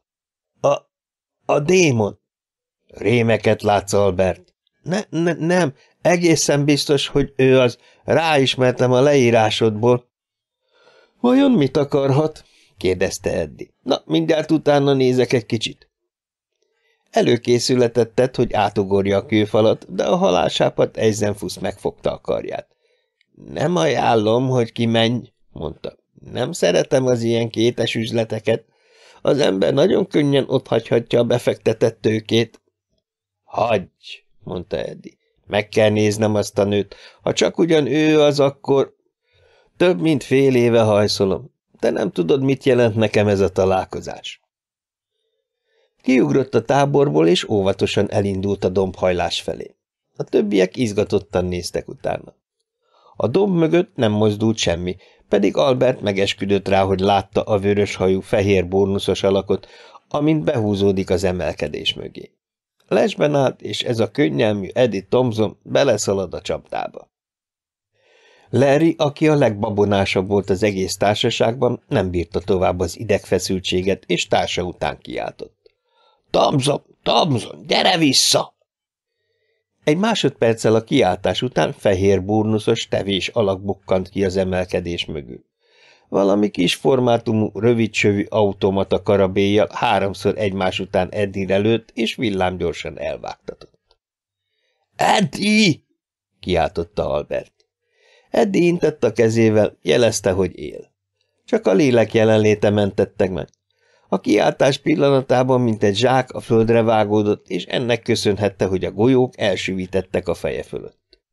Csak úgy fektében előrántotta a revolverét, és néhányszor a sebesen vágtató után lőtt, de az imbolyogva futó tevén teljesen előredőlő alak nagyon bizonytalan célpontot mutatott. Bosszusan tápászkodott fel, és visszatért a táborba. Bosszúsága azonban csak hamar elmúlt. mosolyogva mondta társainak. Na, most már aztán egészen nyugodtan lehettek, hogy közönséges földi halandóval van dolgunk. A démonok nem ijednek meg, márpedig ez megijedt. És most már az is biztos, hogy ő az, akit keresek.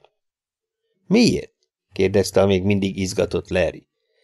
Mert a nevem volt rá olyan ijesztő hatással. Meghallotta, hogy Tomzonnak hívnak, és úgy látszik, az ilyen nevű gentlemanektől van egy kis félnivalója. A többiek hallgattak. Eddi a tovatűnő után nézett, és csendesen morogta maga elé. Most már engem is halára ítél. Korán volt még az induláshoz. Eddi úgy találta, hogy egy órát még alhatnak. Vissza is bújtak sátraikba, de alig hunyták álomra szemüket, Eisenfuss, aki Albertől átvette az őrséget, szintén elordította magát. – Ám! Felugráltak, és kézbe kapták a puskáikat. Eisenfuss izgatottan mutogatott jobb felé, ahol a szemhatár közelében nagy porfelhő látszott. A porfelhő sebesen közeledett, és Szokolov sápadtan nézett Eddire. – Tevés szahariánok lesznek. – Igen, bólintott Eddi, és Aucsilla felől közelednek. Bennünket üldöznek, szögezte le Larry. Ez valószínű, állapította meg Albert. Felfedezték a lázadást, a szökést, a tisztek legyilkolását, és most a nyakunkon vannak. Mi nem gyilkoltunk, mondta izgatottan Eisenfuss. Mi békés katonaszökevények vagyunk. Azok csinálták ott a csúnya munkát, és most mi ígyjuk meg a levét, ez tisztességtelen verseny, kérem. Fiúk, mondta Eddi, semmiféle haditörvényszék nem fogja nekünk elhinni, hogy mennyire ártatlanok vagyunk a lázadásban. Megpróbáljuk tehát elhitetni velük, hogy mi is a szökevényeket üldözzük. Ha sikerül... És ha nem sikerül? kérdezte Eisenfuss. Akkor védekezni fogunk. A kockázat nem áll arányban a várható haszonnal, azt meg kell mondanom, egy ilyen légió nem az a kimondott biztonságos vállalkozás, túlságosan nagy a konkurencia. Eddi vállat vont, és nem felelt a zsörtölődésre. A távolba merett a porfelhőre, amely most már sebesen közeledett. Lassanként kivehetők lettek a tevék körvonalai, és Eddi arca felderült kissé. Hm, nincsenek sokan, állapította meg. Vagy elős, vagy csak egy kisebb különítmény, legfeljebb öt ember. Akkor nincs baj, mondta Larry. Öt emberrel még el tudunk bánni.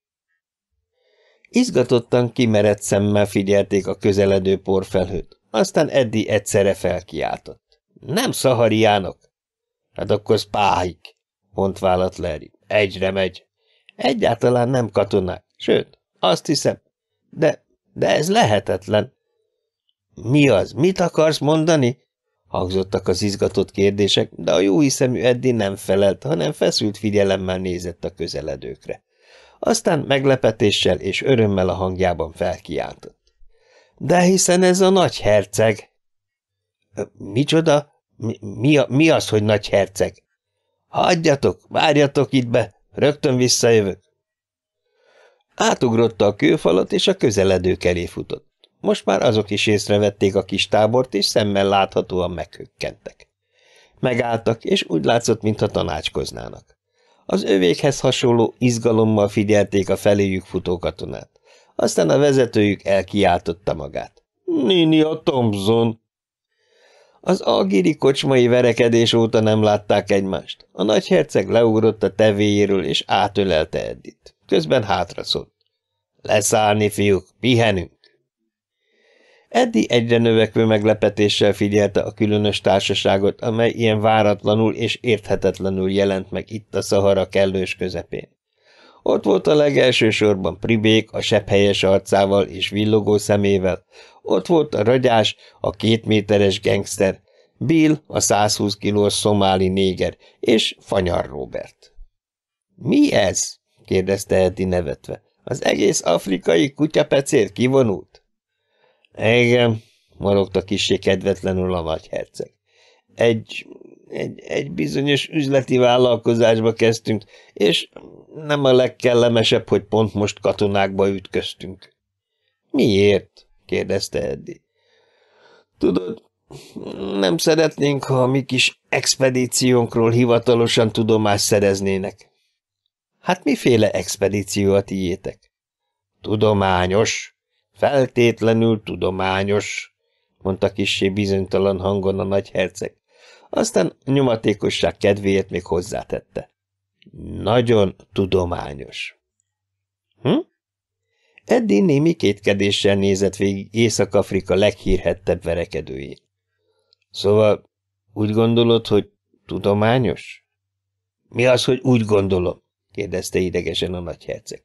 Egész biztosan tudom, hogy tudományos. És ha szabad érdeklődnöm, miféle tudomány szolgál ez az izé? Hát, hogy is mondjam, hallottál te már valamit a paleolit korszakról? Hallottam. Kár. Na mindegy. Hát kérlek, vedd tudomásul, hogy mi paleolit kőzeteket keresünk. Itt? A Szaharában? Hiszen köztudomású, hogy itt tenger volt valamikor. Hogy kereshetsz te egy régi, kiszáradt tengermederben őskori kőzeteket? A nagyherceg átkozottú zavarba jött. Hát, hiszen épp azért titkoljuk annyira a dolgot. Erről senki nem tud. Meg akarjuk lepni a tudományos világot. Sikerülni fog. A tudományos világ még soha nem lepődött meg úgy, mint akkor fog, ha itt ti paleoid kőzeteket találtok. Még a szahara is röhögni fog. A nagyherceg kedvetlenül gyújtott cigarettára. Hát, úgy gondolod, hogy ez nem eléggé hihető? Bizony, eléggé gyengén hangzik. Majdnem biztosra veszem, hogy az elkövetkezendő 500 évben nem fogtok itt paleoitot találni. De ha van annyi időtök, hát csak keressétek. Na jó, a nagyherceg szemmel láthatóan szeretett volna másról beszélni, és nagyon kereste a módját. Hát, ti hogy kerültök ide? Járőrben vagytok? Eddi megrázta a fejét. Nyugodj meg, a mi kis csapatunktól nem kell tartanotok. Ez nem fog benneteket zavarni a tudományos munkátokban. Ő is cigarettára gyújtott, és hirtelen elhatározással bevallotta. Mi ugyanis szökött légionáriusok vagyunk. A nagyherceg arca egyszerre felderült. Ho-ho, vagy úgy? De hiszen ez nagyszerű, hát akkor együtt töltjük a pihenőnket, aztán elválunk.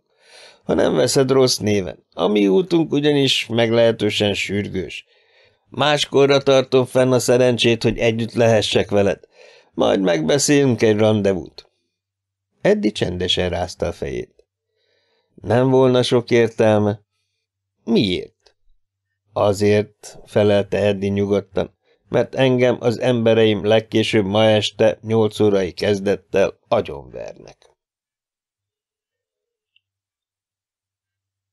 Esküszöm, mondta a nagyherceg hosszabb szünet után. Úgy értettem, mintha azt mondtad volna, hogy agyonvernek. Hát ezen egyáltalán nem csodálkozom, mert csak ugyanazt mondtam. Oh, na, na, na, na, na, várj csak!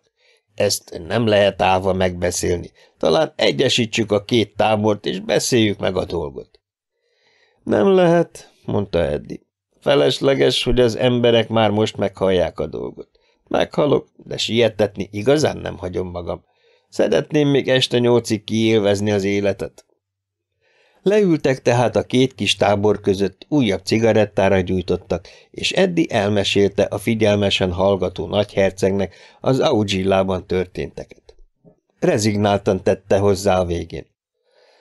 Szóval, amint látod, nem tudtam őket más módon távol tartani az endüléstől és tömeggyilkosságtól, csak úgy, hogy egy nagyobb szenzációval elvontam a figyelmüket. Elhitettem velük, hogy tudom a benír gyémántok helyét. Most már meg kell majd nekik vallanom, hogy a benérgyémántok csak ugyan nem léteznek. Éppen olyan légiós babuna, mint a többi. Ők egyszerű emberek, akik, ha látják, hogy a várt kincsek helyett csak egy rettenetes szenvedésekkel teli út vár rájuk, hogy a képzelt gazdagság szétfoszlik a levegőben, olyan dühösek lesznek, hogy nem fogják mérlegelni a dolgokat. Nem gondolnak arra, hogy én megmentettem őket a legcsúnyább bűntől, vagy mire rájönnének, akkorra már agyonvernek. A nagyherceg sokáig hallgatott, csendesen szítta a cigarettáját, végre megszólalt. Ha? Nagyon kínos, szerfelett, kellemetlen. Hát így egészen más a helyzet. De igazán derék dolgot csináltál. A pokor tornácáról rángattad vissza őket. És az ő szempontjukból mégis igazuk volna, ha agyonvernének. Átkozott kutyaszorítóban, vagy... Hát, ezen segíteni kell. Ezen nem lehet segíteni. Lehet, csak kicsit sokba kerül. Kinek kerül sokba? Hm, nekem, de mindegy. Egyszer te mentettél meg engem attól a agyonverjenek. Illik, hogy hasonló esetben én segítsek. Hm, verekedni akarsz? Nem, annak nem volna sok értelme. Jobb megoldást tudok. Hallgatott és láthatóan küzdött önmagával. Eddig nem zavarta a gondolataiba. A nagyherceg végül is messzire pöckölte hüvelykújjával a cigarettáját és megszólalt. Nincs más mód, hogy az ünnepélyes lincselést elkerüljük. Kénytelen vagyok bevenni benneteket társnak. A paleoid kutatáshoz? Hagyd már ezt a marhaságot. Nagyon meglepődni, ha azt mondanám, hogy a Szaharában nem lehet paleoidot találni. Egyáltalán nem lepődnék meg. Helyes. Ugyanis közölnöm kell veled, hogy a benír gyémántok csak ugyan léteznek, és én körülbelül tudom is, hogy hol. Mi azt keressük. Ez olyan csapás volt, mint a villámcsapás. Eddi csak dadogott. Azt, azt akarod mondani, hogy azt, vigyorgott a nagy herceg. Jobb, mint a paleói, nem igaz? Ezek után a két tábor megismerkedett egymással. Larry, Szokolov, Albert és Eisenfuss bemutatkozott a nagyhercegnek, Billnek, Pribéknek, Ragyásnak és Fanyar Robertnek.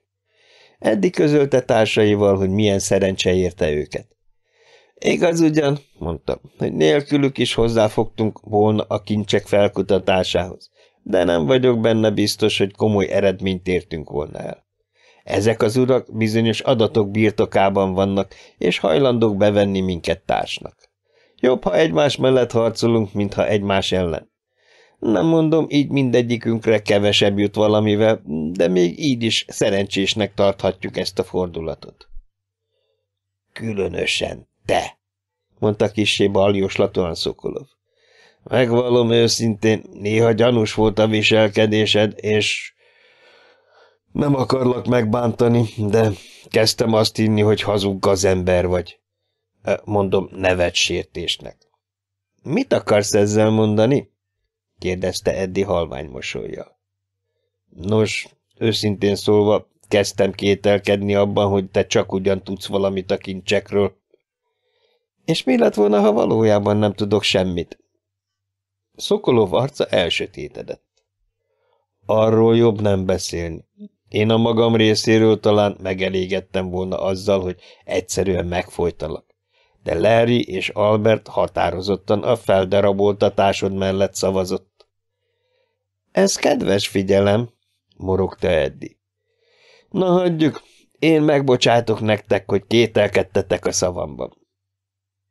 Remélem most már belátjátok, hogy igazságtalanok voltatok hozzám. A bocsánatkérést elengedem. Ez alatt a nagyhercegnek is meg kellett indokolnia, hogy miért vesz maga mellé újabb öt osztozkodót. Nekik nem mondhatta meg az igazat, mert ezek az urak cseppet sem voltak szentimentális lelkek. Nekik bunkósbolt argumentum kellett, mert másképpen lázadoztak volna. Nagy szerencse ez nekünk, fiúk, magyarázta nagyherceg. Kifelejtettem a számításból a nagy kabil zavargásokat. Öt ember, nagyon kevés ember egy ilyen munkánál. Ezek jól felszerelt, kitűnő katonák. Ha bajba kerülünk, szükségünk lesz rájuk. Jó, jó, mondta rossz kedvűen Pribék, hiszen nem volna semmi baj, ha belemennénk, hogy egy kincs feltárása után elintézzük őket. De hogy egyelő részben kelljen osztoznunk? Fogd be a pofád, mondta szigorúan a nagyherceg. Semmiféle becstelenségbe nem megyek bele. Ja, ha te már ezt is becstelenségnek tartod, Miért nem vettél magad mellé apáca növendékeket? De azért nem ellenkezett többet. Mindannyian elismerték a nagy hercseg fölényét. Kis ideig még morogtak, végül azonban belementek mindenbe. Eisenfuss, akit Eddi megbízott, hogy dolgozzon ki egy tervezetet, boldog volt, hogy ismét régi mesterségét űzheti. Kalkulált, számításokat csinált, és végül bejelentette a tisztelt közgyűlésnek, hogy ünnepélyesen megalakítja a benérkincseket feltáró, korlátolt felelősségű társaságot, melynek ő ezennel kinevezi magát cégvezetőjévé. Arra a kérdésre, hogy miért korlátolt felelősségű a társaság, kijelentette, hogy a társaság tagjai minden történendőjét kölcsönösen felelősek egymásnak, és nagyon korlátoltak. A pribék, akinek a humor iránt abszolút semmi érzéke nem volt, komoran megjegyezte, hogy nem csodálkozik a kabilok állandó, sőt, helyenként eredményes mozgolódásán, ha egy ilyen kis idétlen és nyaffat alakok lehetnek a gyarmati hadseregben, mint a tisztelt előtte szóló.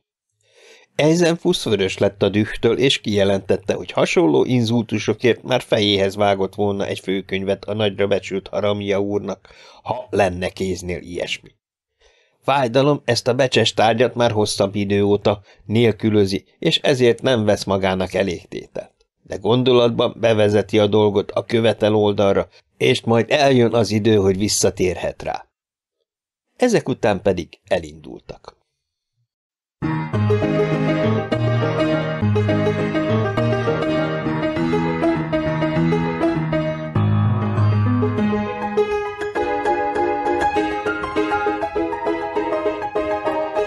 Az ötödik fejezet azzal kezdődik, hogy a sivatag démona kellemetlenkedni akar. Ez sikerül is neki. Thomson azt hiszi, hogy újságot mond, de ő lepődik meg. Különös leleplezések és egy váratlan látogató. A végén Eisenfuss fürödni szeretne, de a többiek ezt nem tudják megérteni.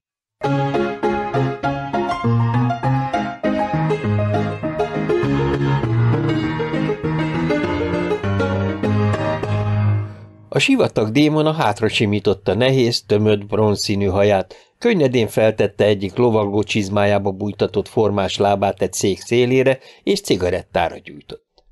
A bursejk tűnődve nézte. A hatalmas sátor Ogla oázis szélén állt, és valósággal főhadiszállás jellege volt, mert kitűnően felfegyverzett lovas csapatok vették körül, és egymást érték benne a híreket hozó futárok. Abursejk nézte a nőt, és furcsa gondolatok motoszkáltak agyában. Nem olyan volt, mint a többi egyszerű eszű, közönséges beduin.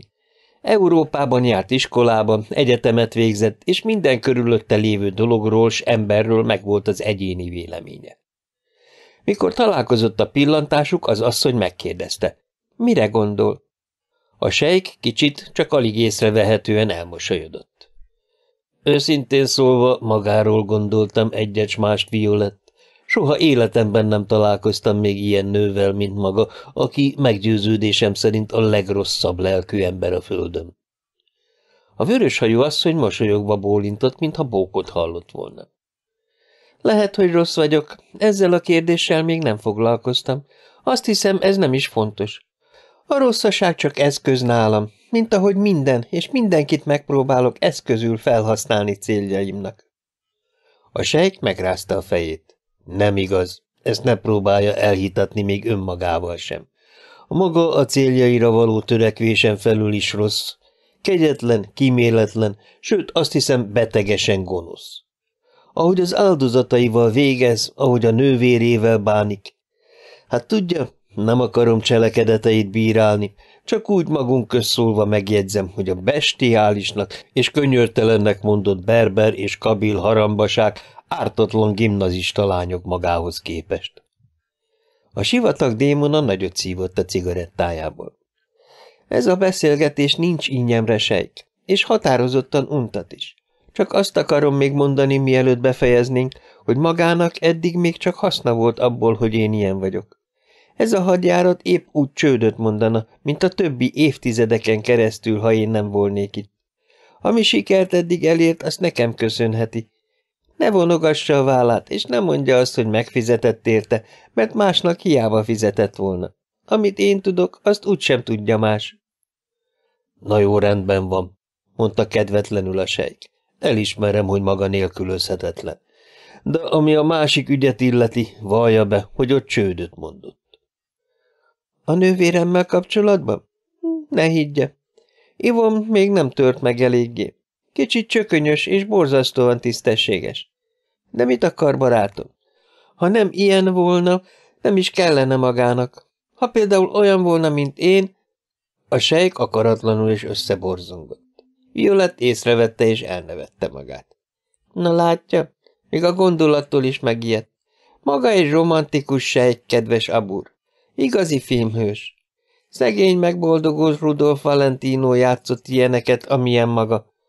Nos, akkor nem szabad türelmetlenkedni. Magának ez az ártatlan leányzó kell, tehát be kell látnia, hogy ártatlan leányzók kisé nehezen vehetők rá, hogy beduin sejkek ágyasai legyenek. Én igazán mindent megteszek, hogy rávegyem a kicsikét. Kegyetlenül mosolygott, hófehér fogsorát mutatva. Minden befolyásomat latba vetem, tette hozzá, és Abur megint megborzongott egy kicsit, de aztán vállat vont. Szeretem azt a lányt, mondta. Na ugye? Na ugye? Szeretem, és sajnos nem válogathatok az eszközökben. Nem tudok nélküle élni. És nagyon türelmetlen vagyok. Igyekezzen. Igyekszem, legyen nyugodt. Már nem tart sokáig. Még egy-két nagy jelenet, és a lány beadja a derekát. A bursáik elégedetten bólintott, aztán kíváncsian nézett az asszony szemébe. És mondja, őszintén, ezt is csak a pénzért teszi? Hát ugyan mi másért tenném? Maga nagyon jól tudja, hogy nekem csak az a fontos. Pénz. Sok. Nagyon sok pénz. Ezt a szót, hogy pénz, valóságos áhítattal mondta ki. A sejk megint ránézett, és lassan elfordította a fejét. Igen, pénz, mondta. Ezért tett tönkre embereket. Ezért kergetett öngyilkosságba férfiakat. Ezért öl, ezért adja el a testvérét. Az asszony ránézett és nyugodtan mondta. Ezért. Sok pénzre van szükségem, és egyáltalán nem tartom fontosnak, hogy milyen úton jussak hozzá. Én kiléptem a morál és a törvény falai közül. Nem tartom kötelezőnek magamra nézve az emberi törvényeket. Egyéni céljaim a fontosak csak. A morál és az emberi törvények esetleg visszaüthetnek. Az is az én dolgom, de kérem ne beszéljünk már erről. Mondtam, hogy rendkívül fontos közlendőim vannak. Tessék, hallgatom. Tudomásomra jutott, hogy van egy társaság, amelyik a benírt gyémántokat kutatja, sőt, nem csak hogy kutatja, de meglehetős biztonsággal tudja azt is, hogy hol találja meg őket. Hát a benírt gyémántok léteznek? Ezt épp maga kérdi? Megvallom őszintén, nem nagyon hittem soha az ilyen kincses mesékben. Reálisan gondolkodó ember vagyok. Hát legyen nyugodt, a gyémántok valóban léteznek, és egy kalandortársaság tudja is, hogy hol. És maga honnét tudja ezt? Az asszony mosolygott. Kérdezni nem szabad, csak fizetni. Nekem megvannak a hírszerzőim mindenütt. Kicsit sokba kerül, de kifizetődik. Szóval? Szóval, ha akarja, lecsaphat erre a társaságra. Körülbelül másfél napi járásra vonulnak a Níger felé. Egészen biztos, hogy van valami térképük vagy feljegyzésük. Ha ezt el lehet venni tőlük, akkor miénk a gyémánt. És milyen arányban óhajtja elosztani? Ó, én nagy lelkű vagyok. Egy karáttal sem követelek többet, mint amennyi igazságosan jár. A kincset három részre osztjuk. Miért három részre? Egy harmad az enyém, egy harmad a magáé, és a harmadik harmad azé az emberi, akitől az információt kaptam. Remélem ez méltányos. A burseg bólintott. Igen, és ha nem tündérmese az egész. Legyen nyugodt, és ha el akarja csípni a társaságot, akkor hallgassa meg a tervemet. Még sokáig beszélgettek, és nem vették észre, hogy egy feltűnően szép, fiatal lány rést hasított a sátor hátsó falába, és kihallgatja minden szavukat. A tábor egy pálmaliget szélén pihent. A rekkenő hőségben igen kevés enyhülést hozott a néhány csenevész lombufa. Az emberek ernyetten hevertek a földön, és még az a kissé groteszk tény sem hozott különösebb enyhülést nekik, hogy a pribék vörös pecsenyét játszott Eisenfusszal. Eddie Thompson, Palmer, a nagyherceg kisé távolabb állt egy pálmafa alatt. Elmerülten beszélgettek, és a többiek nem zavarták őket, mert látszott az arcukon, hogy igen komoly dologról van szó. A nagyherceg megemlítette az írást Eddinek, aminek a segítségével meg kell találniuk a mérhetetlen benír vagyont. – Hogy jutottál hozzá? – kérdezte Eddi. – Egészen meseszerű a dolog – mondta a nagyherceg. Algír külvárosában kószáltam, förtelmesen piszkos arabok és elképzelhetetlenül rongyos és düledező házak között. Már akkor elintéztem a dolgot, ami miatt idejöttem, és gyorsan lépkedtem, hogy minél hamarabb kijussak ebből a szörnyű városrészből. Egyszerre csak a legnagyobb meglepetésemre valaki a nevemen szólított. Borzasztóan meglepődtem. Attól az öreg orgazdától eltekintve, akivel dolgom volt, senki sem ismerhetett engem errefelé. Körülnéztem, és megpillantottam egy szakállas arabot. Integetett felém, és mosolygott. Egy förtelmes, ütött kopott viskó küszöbén ült, neki támaszkodva az ajtó félfának. Nagyon betegnek látszott, mert ahogy integetett, láttam, hogy még ez a mozdulat is roppant nehezére esik. Kutattam az emlékezetemben, de sehogy sem jöttem rá, hogy hol láthattam ezt az embert. Mind a mellett odaléptem hozzá. Engem szólítottál? kérdeztem. Úgy van, téged szólítottalak, uram, felelte. Úgy látom, nem emlékszel már rám. Nem tudom, hol láttalak. Megértem. Fél évvel ezelőtt még erős és egészséges ember voltam. Emlékezz csak vissza, hogy egy ízben, tangerben kiszabadítottál valakit az úton állók karmai közül, akik meg akarták ölni az illetőt, hogy kirabolhassák.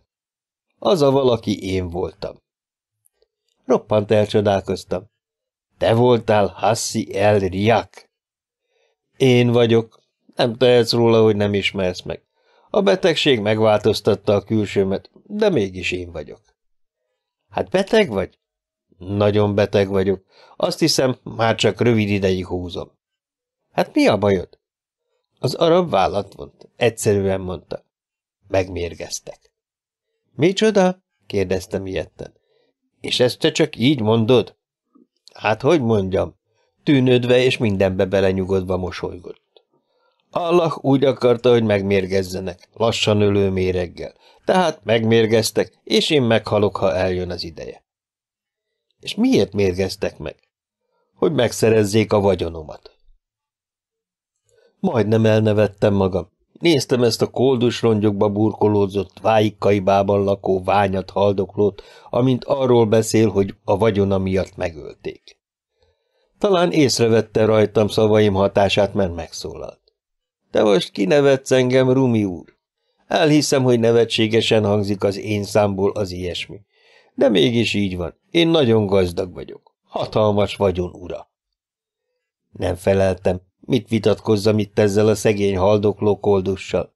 Inkább azon törtem a fejem, hogy az ilyen képzelt milliómosok megsértődnek-e, ha néhány fran alamizsnát dugnak a kezükbe. Minden esetre a zsebembe nyúltam. Észrevette, és megint eltalálta a gondolatomat. – Alamizsnát akarsz nekem adni? – kérdezte. Nincs rá szükségem, uram.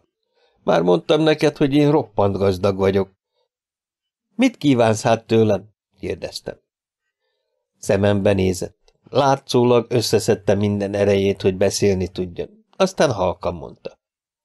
Te vagy az egyetlen uram, aki segítségemre voltál, mikor bajba kerültem.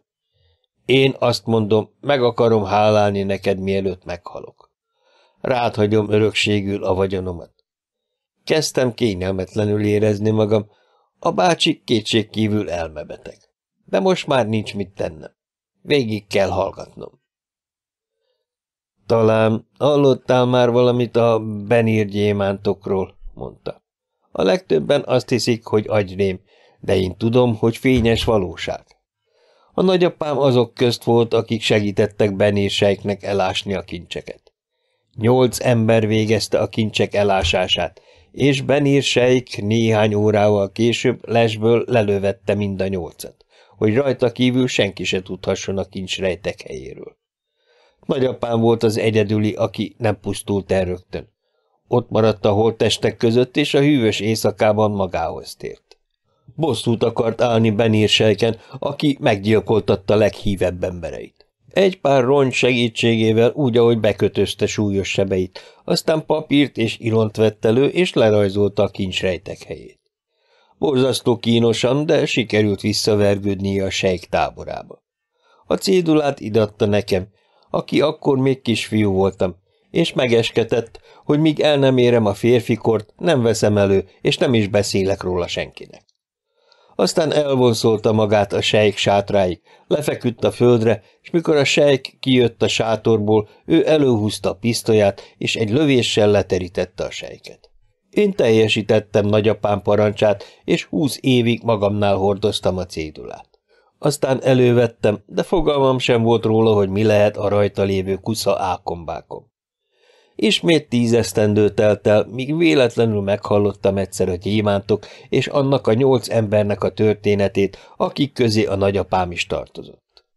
Rögtön megértettem, hogy milyen vagyont jelent nekem ez a cédula. Sajnos nem voltam eléggé vigyázatos, és elszóltam magam valaki előtt, akire szükségem volt, hogy segítségemre legyen a kincs feltárásában. Ez a valaki aztán elárult más valakinek, megmérgeztek, és mióta magammal tehetetlen vagyok, öt ízben próbálták elrabolni tőlem a cédulát. Nem sikerült, mert nagyon jól elrejtettem. Most már azonban nagyon kevés időm van, és félek, hogy a vagyon a gyilkosaim kezébe kerül. Ezt nem akarom. Inkább legyen a tiéd a kincs, aki jó voltál hozzám. Boldog vagyok, hogy Allah épp ma vezérelt erre téged, Neked adom a vagyont, évele boldogul, de vigyázz magadra, mert ennek a titoknak a tudójára mindig halál leselkedik. Várj rám egy pillanatig. Roppant kínosan erőlködve bement a konyhájába. Olyan sokáig nem jött vissza, hogy azt hittem, talán már meg is halt oda bent.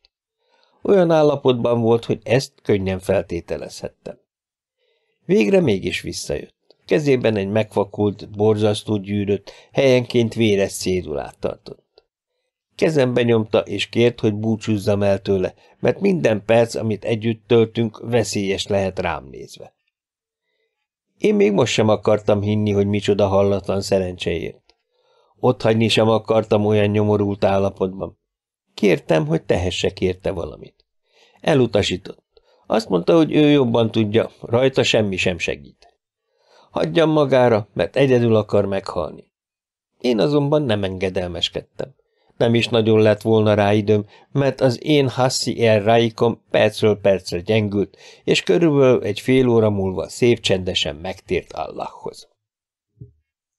Szépen lefektettem, és most már gyorsan távoztam, mert ha az öreg igazat beszélt, akkor nagyon veszélyes volt számomra a légkör.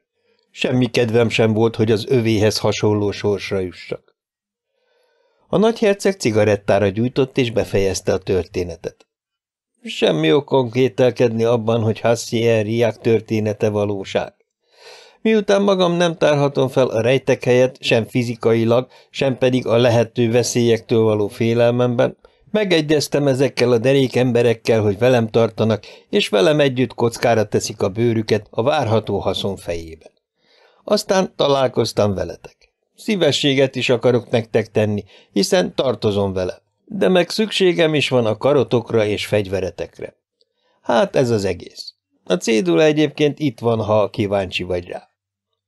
Elővette az ütött kopott cédulát. Eddi egy pillantást vetett rá, és látta, hogy valamiféle tervrajz.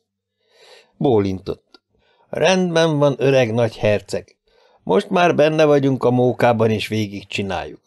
Az az érzésem, hogy még nagyon sok pofont fogunk lekenni egyik-másik embernek, amíg végzünk az ügyel, tehát úgy szép az élet, ha zajlik. Egy dolgot azonban meg kell mondanom.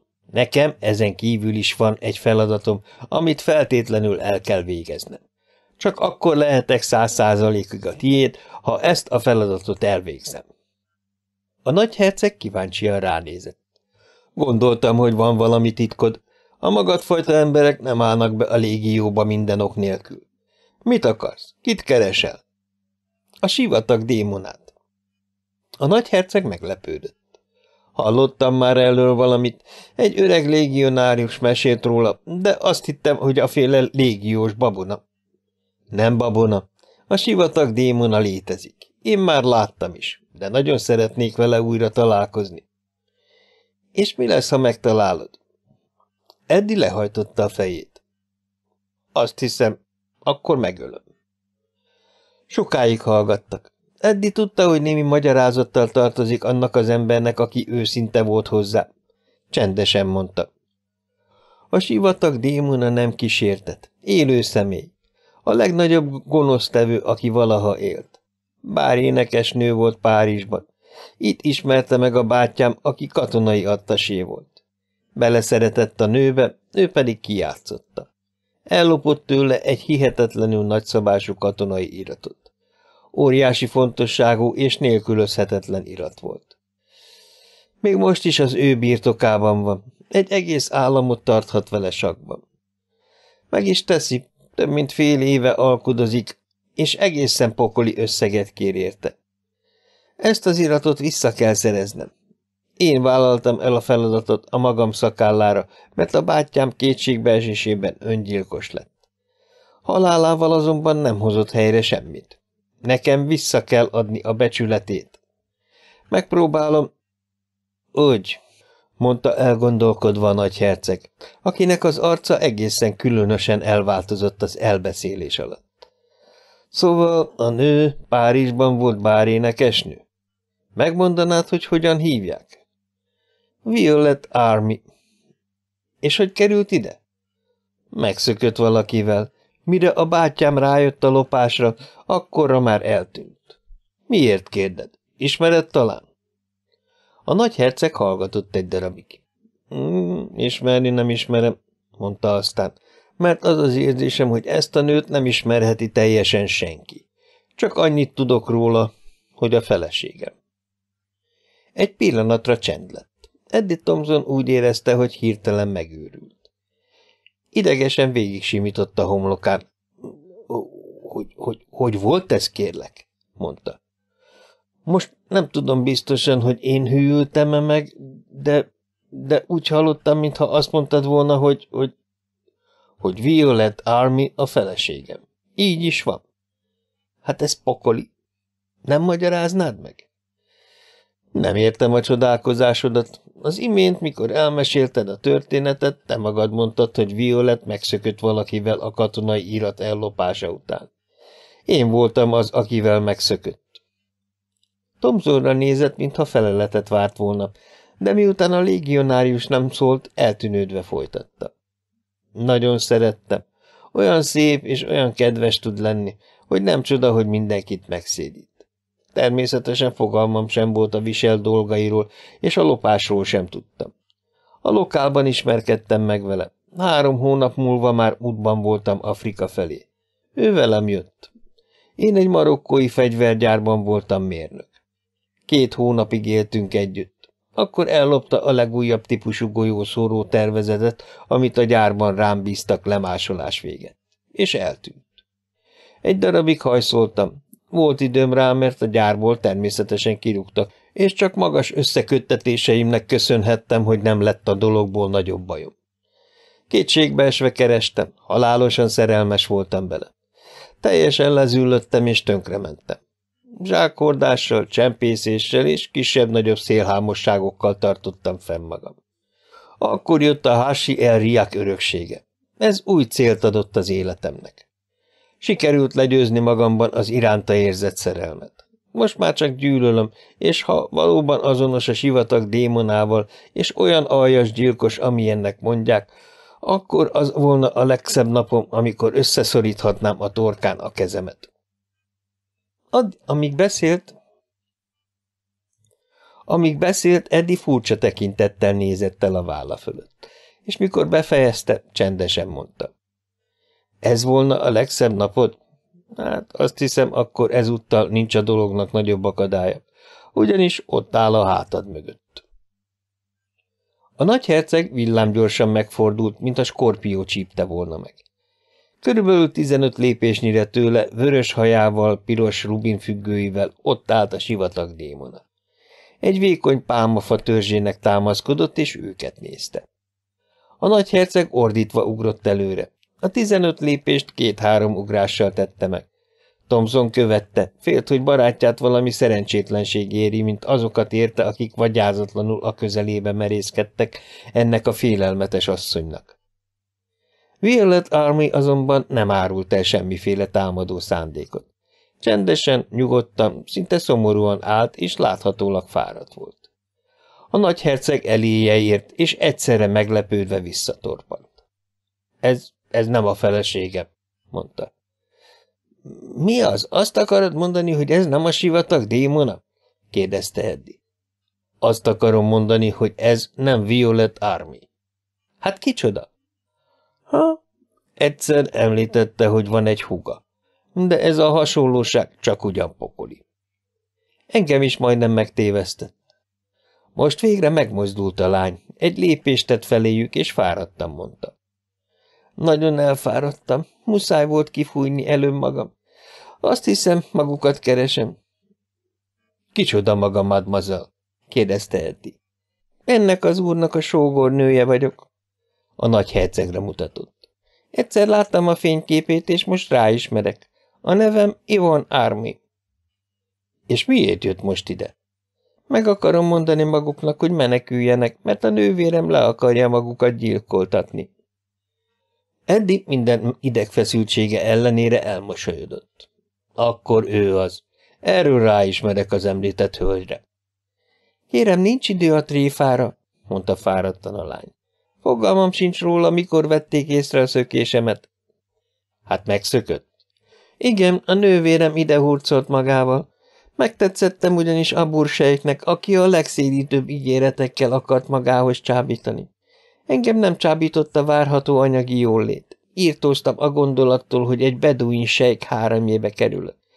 De Violet, aki pénzért minden aljassággal képes, akivel sajnos egyáltalán nem lehet ellenkezni, keresztül vitte, hogy vele jöjjek, és minden erejével azon dolgozik, hogy a sejk kezére játszon. Fantasztikus, mondta Eddi. A saját testvérét? Őt ilyen csekéség nem tartja vissza, felelte Ivon. Cseppet sem szentimentális. Mégis megfogom a torkát, mondta csendesen a nagy herceg. Attól félek, ezt a dicsőséget elveszem az orrod elől, felelte Eddi, és gyönyörködve nézte a lányt.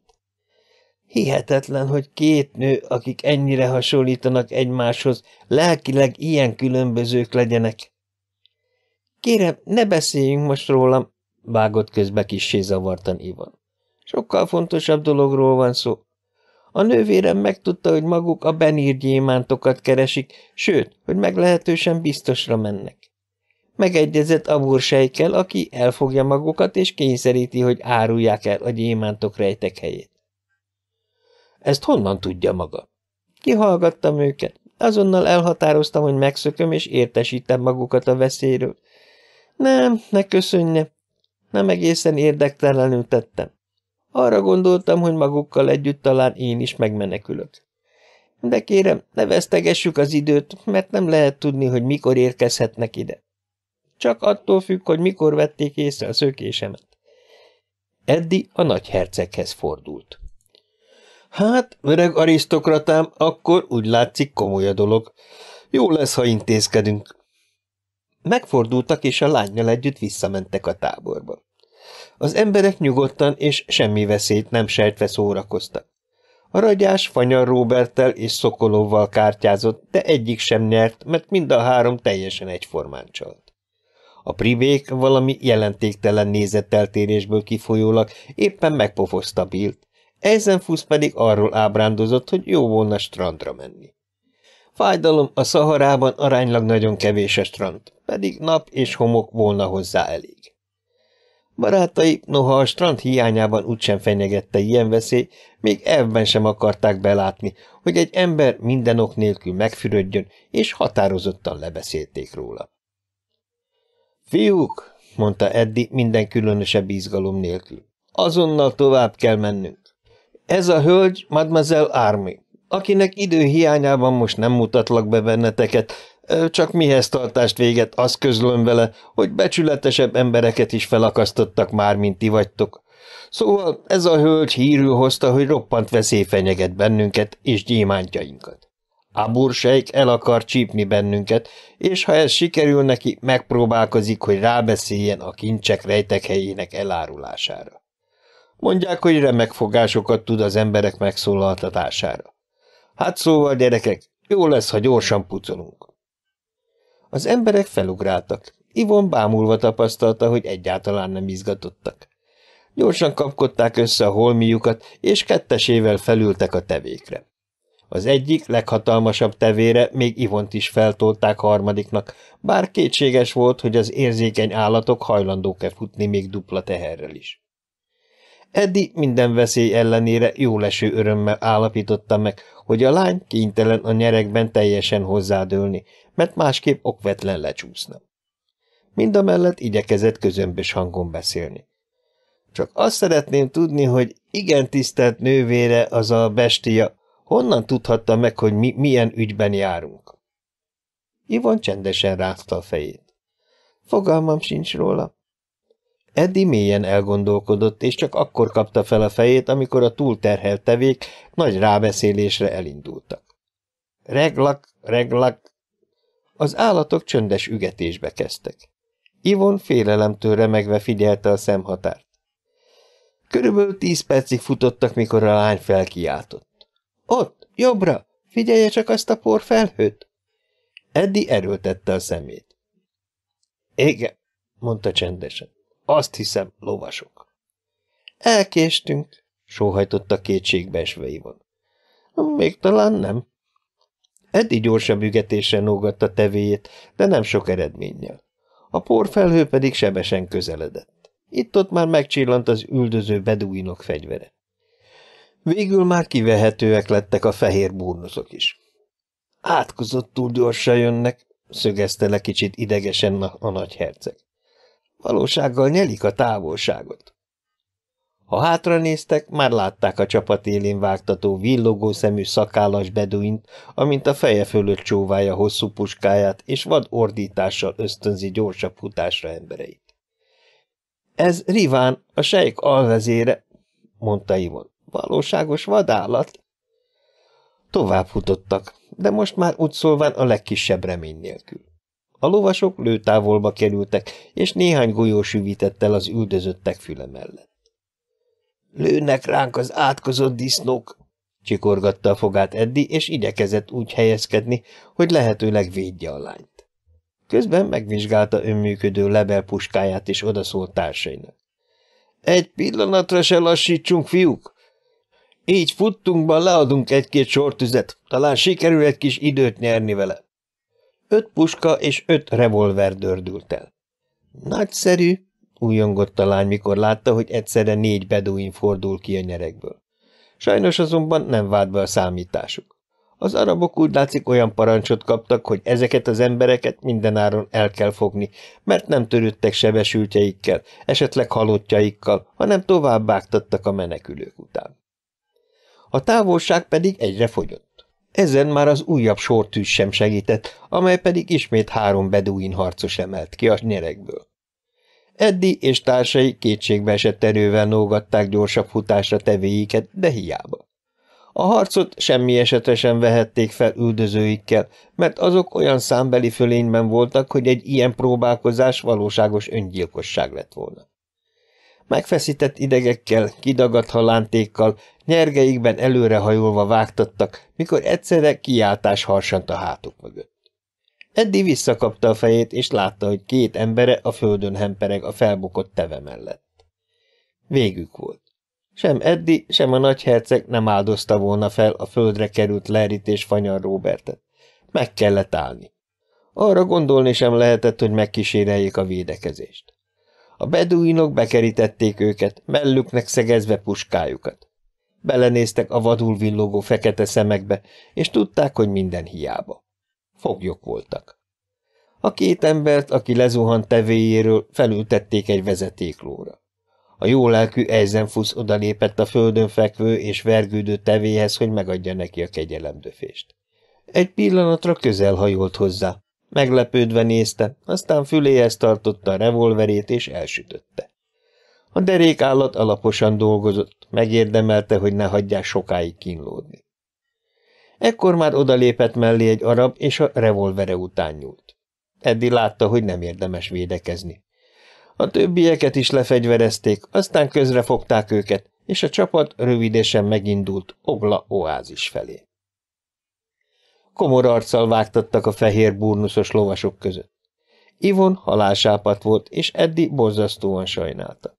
Szerette volna megvigasztalni valahogy a szerencsétlen lányt, de ebben a helyzetben minden vigasztaló szó nevetségesen hangzott volna. Kisebb megszakítással egész nap mentek. Rettenetes út volt. A hőség elérte a hatvan fokot, és vízük kevésnek bizonyult.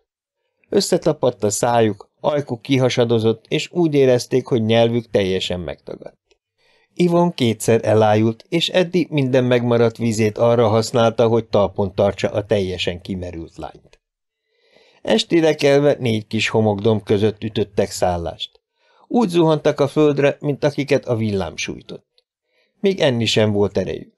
Látták, hogy a beduinok szoros gyűrűvel veszik körül őket, de ők maguk tudták, hogy felesleges óvatosság elfogóik részéről, mert akkor sem tudnának megszökni, ha teljesen magukra hagynák őket. Pillanatok alatt mélyen, szinte ájultan aludtak, és még akkor is olmos fáradtságot éreztek, mikor hajnalra kerve néhány puskalövéssel ébresztették őket, és rájuk parancsoltak, hogy folytassák a megkezdett utat. Déltájban már úgy valamennyien félholtak voltak. Csak három ember tartotta magát valahogy. Eddi, a nagyherceg és Eisenfuss. Eisenfuss volt a társaság legnagyobb meglepetése.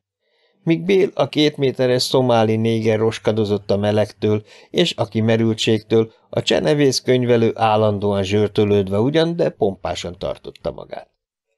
Mondhatom, nagyszerű dolog, morogta Eisenfuss. Még ebédszünetet sem adnak az embernek. A legújabb, hogy állandóan túlórázni kell. Gyönyörű üzleti elvek. Kihasználni az alkalmazottat a végletekig. A fene egye meg, az embernek a szája folyton tele van homokkal.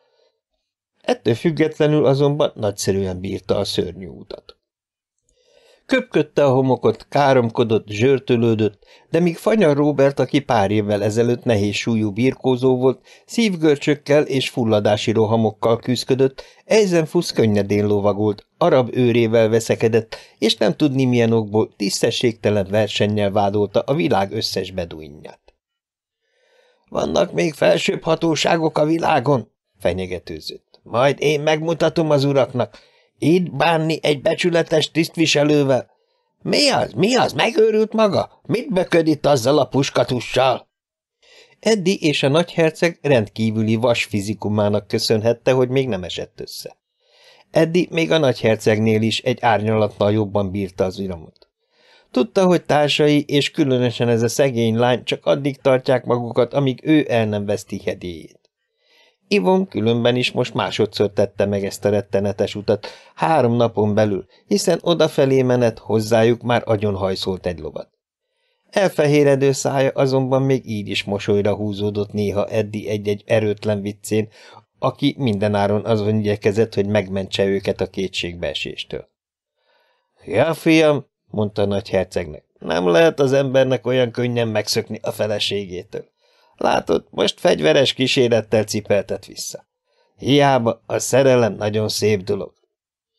Különösen mióta megint ilyen jó parti lettem. A gyémántok roppan előnyösen hatnak a szexepilemre. Apropó, gyémántok, fordult arab kísérőjéhez a mellettük lovagoló Eisenfuss. Mondja csak, apuskám, nincs véletlenül egy újságja. Szeretném megnézni, hogyan zárult a tegnapi gyémántősde. Na, ne böködj, mert orba rúglak, te szakállas disznó! Fő, sóhajtott fel a pribék, és félájultan törölgette veretékes homlokát. Nem lehet kibírni ezt az átkozott hőséget. Dehogy nem lehet, vigasztalta Eddi. Gondolj csak arra, mennyivel kellemetlenebb lenne, ha az ügyeit kiderülnének, és most a hűvösön ülnél. Szép kis vigasz, szólalt meg mellettük a ragyás. Ez rád nem vonatkozik, felelte jókedvűen Eddi. Ha tényleg sikerülne elcsípni az amerikai hatóságoknak, te nem sokáig ülnél a hűvösön. Mondják, hogy a villamosszék... Na, hagyjuk ezt a témát, ha szabad kérnem, mondta idegesen ragyás.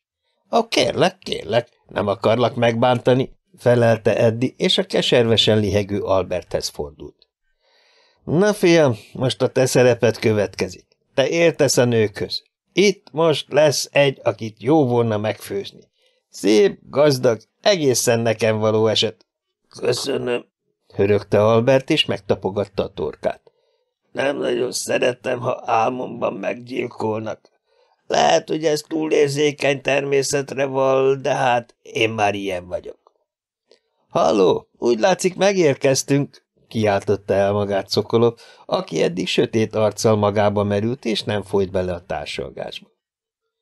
Csak ugyan feltűnt néhány pálma, és a pálmák mögött zöldelő oázis. Lovasokat is láttak, és a távolban sátrak fehér lettek. Legfőbb ideje, morogta elégedetlenül Eisenfuss. Úgyis panaszt akarok tenni a direkciónál, ezért a piszok eljárásért. Kísérőik arab szokás szerint puskalövésekkel adtak jelt. Lovasok vágtattak eléjük, és a levegőt percekig ordítozás és lövöldözés töltötte be. A foglyokat leszállították tevéikről, és egy hatalmas közös sátorba vitték őket. Eddi, aki azt hitte, hogy Ivont azonnal elválasztják tőlük, meglepődve látta, hogy a lányt egyelőre legalább, de ott hagyják velük. Nem kötözték össze őket, de a sátor körül állandóan legalább harminc beduin cirkált. Kis idő múlva két búnuszos, szakállas ember lépett be hozzájuk. Ennivalót és vizet hoztak.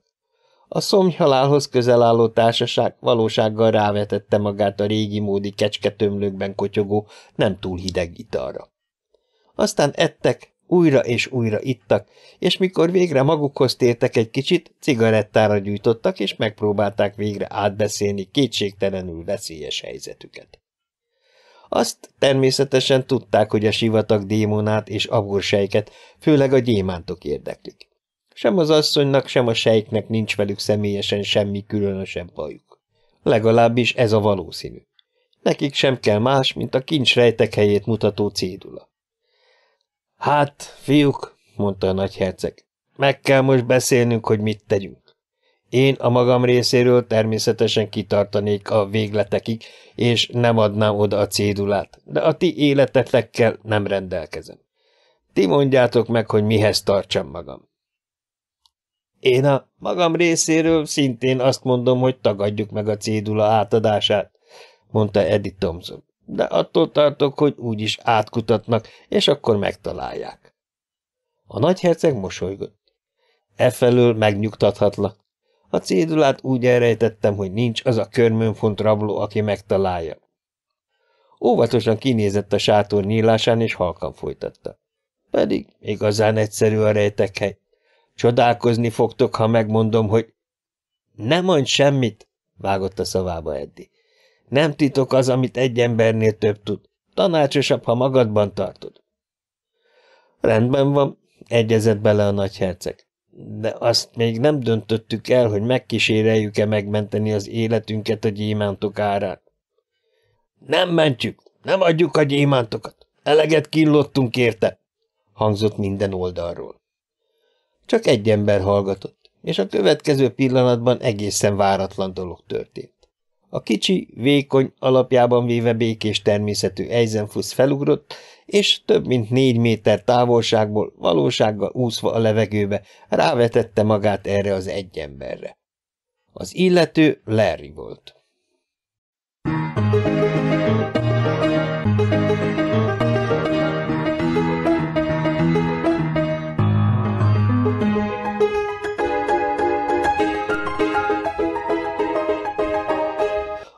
Hatodik fejezetben egy cégvezető rendkívül sajnálja, hogy nem gyilkolt.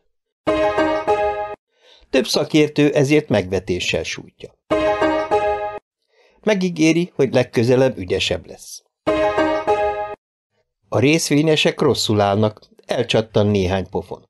Sajnos csak elvben. Albert megteszi, amit a társadalom elvált tőle. A végére kiderül, legszebb öröm a káröröm.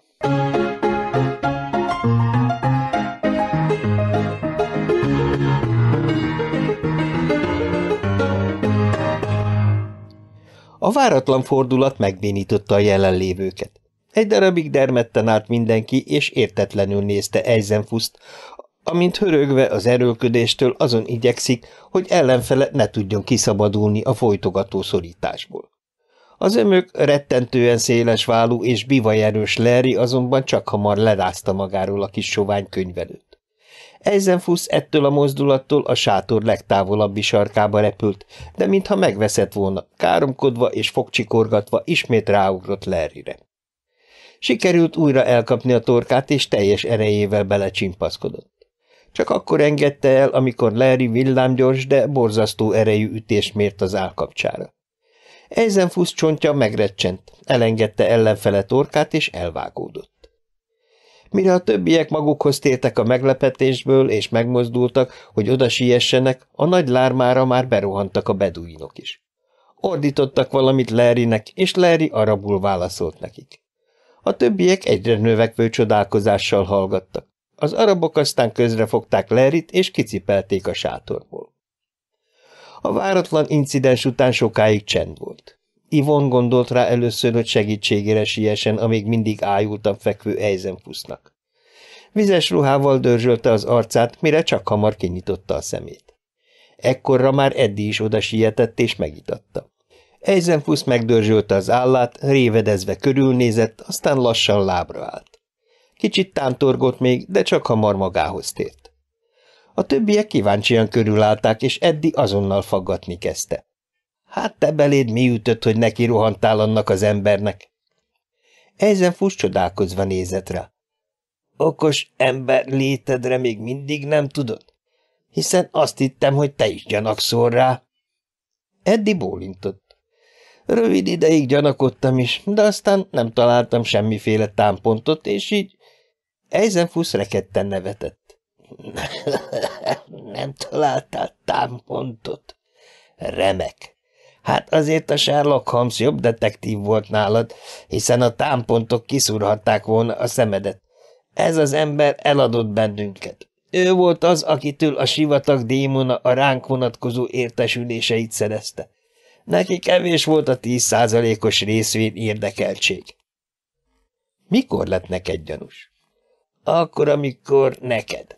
Mikor a sivatag démona a dombok mögött lesett ránk, és te elindultál, hogy felverd a rejtek helyéről. Larry akkor hangosan utánad kiáltott. Úgy van, figyelmeztetni akarta a veszélyre a nőt. Egyrészt, másrészt pedig tudtára akarta adni, hogy te vagy az. Nekem azonnal feltűnt, hogy ő, aki mindig a keresztneveden szólított, ezúttal a vezeték nevedet kiáltotta. Akkor nem értettem a dolgot, csak csodálkoztam, mert megszoktam, hogy kollégák, ha amúgy is tegező viszonyban vannak, a keresztnevükön szólítják egymást. Aztán, mikor később eszembe jutott, amit az öcséddel kapcsolatban mondtál erről a nőről, akkor rögtön megértettem, hogy miért kiabálta utánat, hogy Tomzon, gyere vissza, Tomzon! Akarta, hogy a nő meghallja a nevedet. Az Eddi névvel nem sokat ért volna. Óriási nagy ember vagy, Eisenfuss? Hagyjuk ezt a szabad, kérnem. Én nekem ebben a vállalkozásban részvény érdekeltségem van, tehát nem közömbös, hogy a vállalat körüli harcok merre dőlnek el. Ettől a pillanattól kezdve állandóan megfigyeltem Lerit. A te gyanút csak hamar elaludt, mert hiszen neked csak az nem tetszett, hogy ez az ember utánad kiáltott. Hogy hogyan kiáltott, azt észre sem vetted. Sokáig nem árulta el magát semmivel. Mikor azonban ez a hölgy itt, Ivonra mutatott, megérkezett, és azt tanácsolta, hogy meneküljünk, Észrevettem, hogy Larry barátunk húzza az időt. Háromszor is elejtette a bardáját. Piszmogott a felszerelésével. Ott felejtette a puskáját, szóval úgy viselkedett, mint akinek rettentő sok ráérő ideje van. Nos, aztán még jobban szemmel tartottam. Megkezdődött a menekülés. Jöttek a beduinok. Nem volt valószínű, hogy meg tudunk menekülni, de Larry biztosra akart menni. Lehet egyébként, hogy ez volt az utasítása. Tény, hogy pont az ő tevéje dőlt ki először. Ez ugyan lehetett volna véletlen is. Én tehát, mikor odamentem a földön fetrengő állathoz, hogy megadjam neki a kegyelemdöfést, gyorsan megnéztem, nincs -e rajta valami árulónyom. – És? – kérdezte izgatottan a nagyherceg.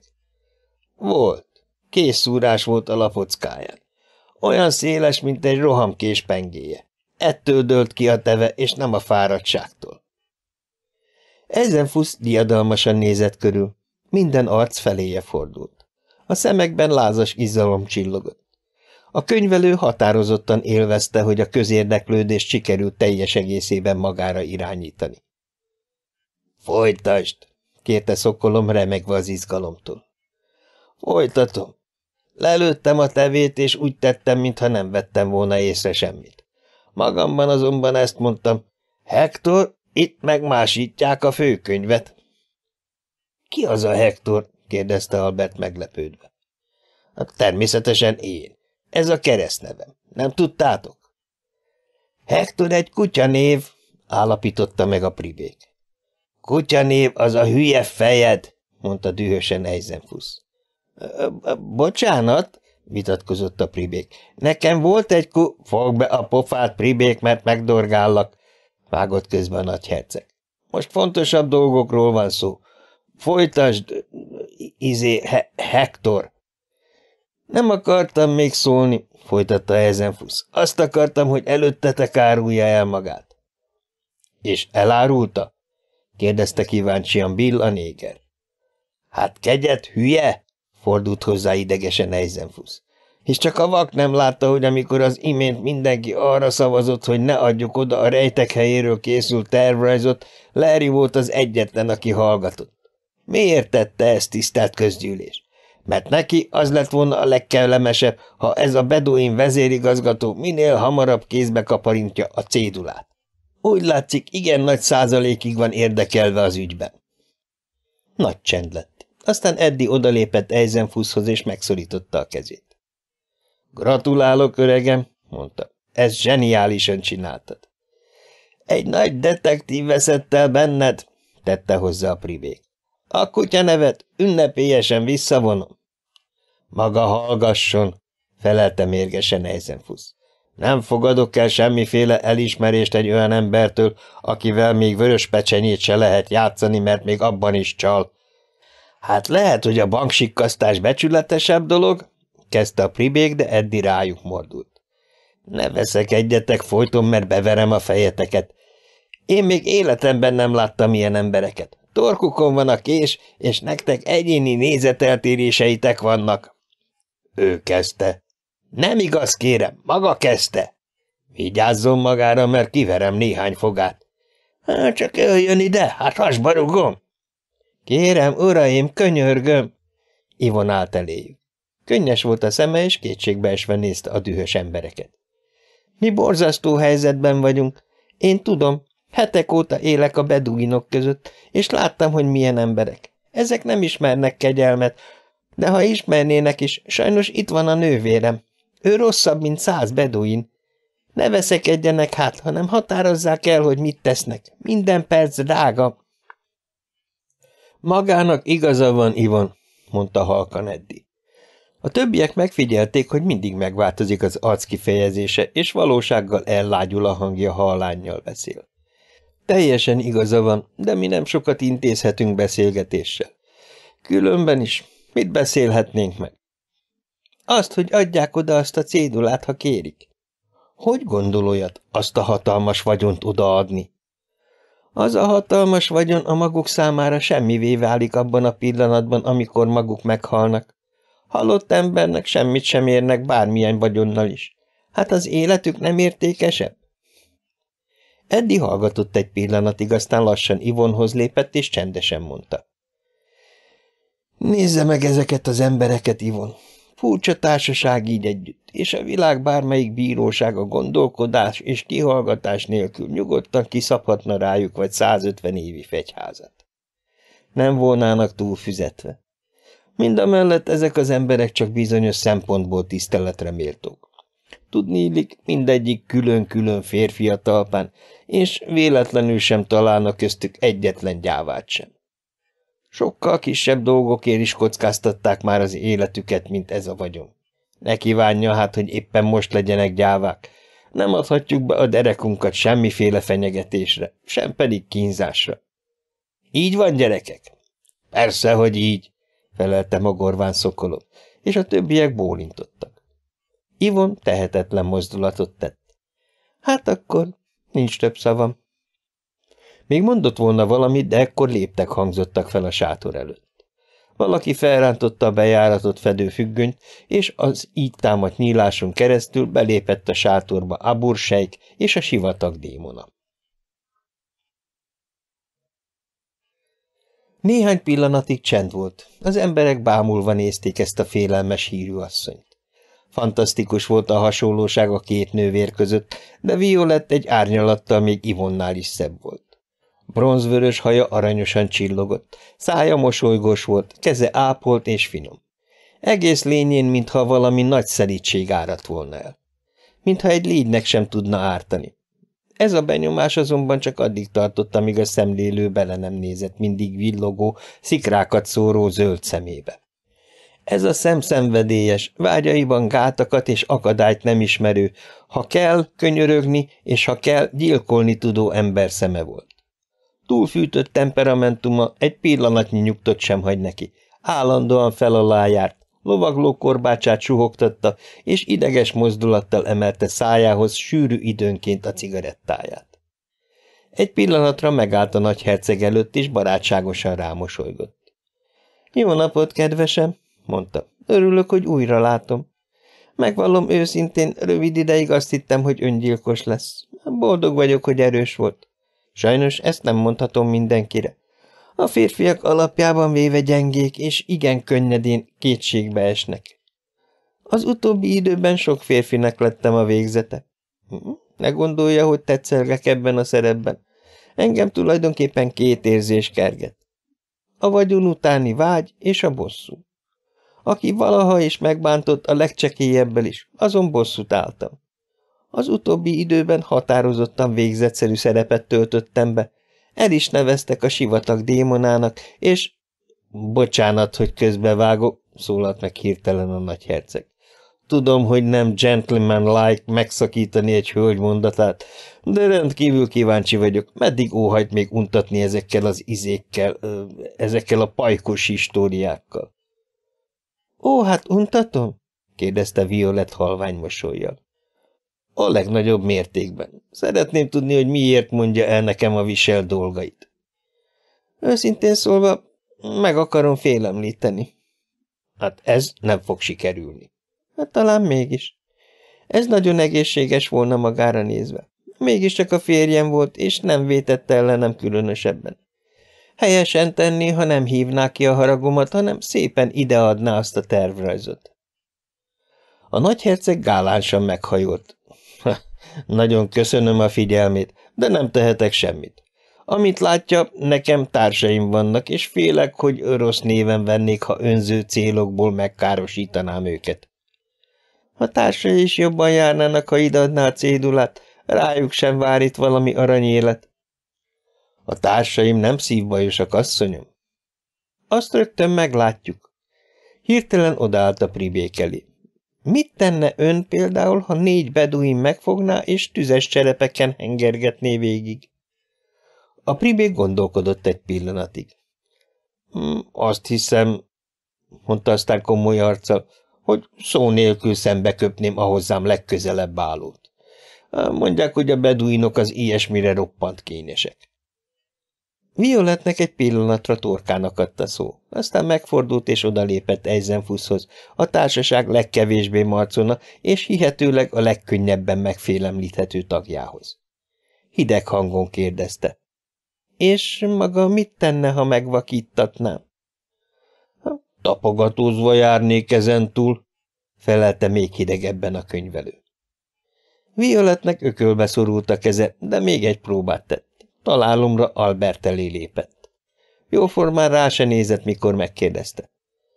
Mit gondol? kellemes lehet az, mikor az emberek hosszú tűt szurkálnak a körme alá? Elkészült rá, hogy hasonló, fölényes, sőt hetvenkedő választ kap, mint eddig kapott. Annál meglepőbb volt a parkettáncos váratlan felelete. Ezt nem volna szíve megtenni velem, mondta Albert valami bámulatosan puha, szinte sejmes hangon. Violett tágra nyitott a szemét. – Mi? Mit beszél? – Mim nem volna? – Szíve. A sivatag démona elnevette magát. – Szívem? Nekem szívem? Maga megőrült, fiam. Hát a rólam szóló históriákból még nem állapította meg, hogy nekem nincs szívem? Albert olyan hangon felelt, amitől annak idején brilliáns függők hullottak ki idős amerikai milliómos nők füléből. Szerelmes ember, nem érdekelnek az ilyen szóbeszédek. Violet felkapta a fejét. Kicsoda szerelmes? Én. Magába. Maga megőrült? Úgy van, felelte Albert. Megőrültem. A többiek megkövülve figyelték a jelenetet. Violet tulajdonképpen csak most vette szemügyre az előtt álló fiatalembert, aki, ezt nem lehetett elvitatni tőle, nagyon csinos fiú volt. Magas, karcsú, szélesvállú, ábrándos, fekete szemekkel, gesztenye barna, a halántékon egy egész keveset őszülő hajjal, igazi szép fiú volt, a féle nők bálványa, és még veszedelmesebbé tette, hogy ezt mind tudta magáról. Violet meglepődve, de némi elismeréssel nézte. A hely és az idő igazán nem alkalmas eféle vallomásokhoz, de a hang nagyon őszinte volt, és hmm, ez, a, ez a sejmes barna kis bajusz egészen csinos. – Mit beszél itt maga össze-vissza? – kérdezte kissé bizonytalanul. – Miféle trükk ez? – Nem trükk – felelte egy rajongó őrült lelkesedésével Albert. – Szeretem magát, ez csak nem meglepő, de magának igaza van, merészség volt tőlem ezt most bevallani. És itt, mindenki előtt. Bevallom, hogy ízléstelenség volt. Elfordult, és szinte oda sem figyelve, mintha a zavarában és szórakozottságában tenni, kellemes baritonján dudolni kezdte. Azt se bánom, ha életem az ára, jöjj el hozzám egyetlen éjszakára. Violet felkiáltott, és megragadta Albert karját. Mi ez? Honnan veszi ezt a dalt? Hisz ez az én... Nem fejezte be a mondatot. Várakozás teljesen nézett Albertre, aki csodálkozva felelt. Mit nem ért ezen? Ez a kedvenc dalom. De a kellemetlen magának, nem éneklem ezen túl. Dehogy is, dehogy is, mormogta Violet valami különös mosolyjal. Csak énekeljen, amikor kedve tartja. Majd, majd később beszélni akarok magával. Visszafordult a többiek felé. Végezzünk, uraim! Más üzleti vállalkozásaim is vannak, s a kitűnő abursejk is elfoglalt ember. Nincs időnk ilyen bagatel ügyekkel túl sokat foglalkozni.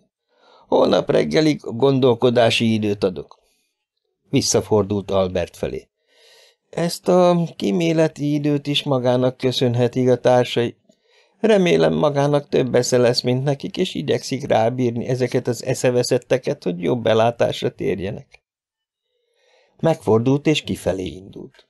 Csak kifelé menet vett tudomást a hugáról, aki a sátor egyik sarkában kuporgott. Egy pillanatra megállt előtte, és villámló szemmel nézte. – Te kis hülye liba! – mondta halkan és keményen. – Hát kit akartál játszani? Engem? Még mindig nem ismersz? No, majd megismersz ezután. Csak maradj itt most ezekkel, majd holnap veled is számolok. Míg beszélt, lovagló korbácsával a csizmáját csapkodta. Most úgy látszott egy pillanatig, hogy az ismét felemelkedő korbácssal lesújt a lányra, de a közelben álló Eddi szeme akkorát villámlott, hogy még Violet ármi is visszahőkölt tőle. Hirtelen megfordult és kisietett a sátorból. A bursejk még bennmaradt egy pillanatig. Barátságosan rámosolygott a társaságra, és egy európai művelt modorában megszólalt.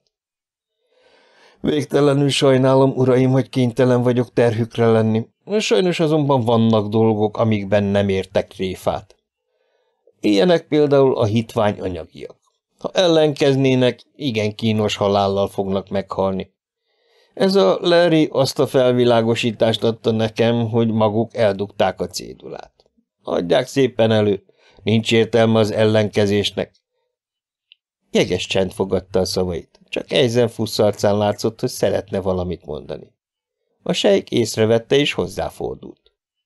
Óhajt valamit?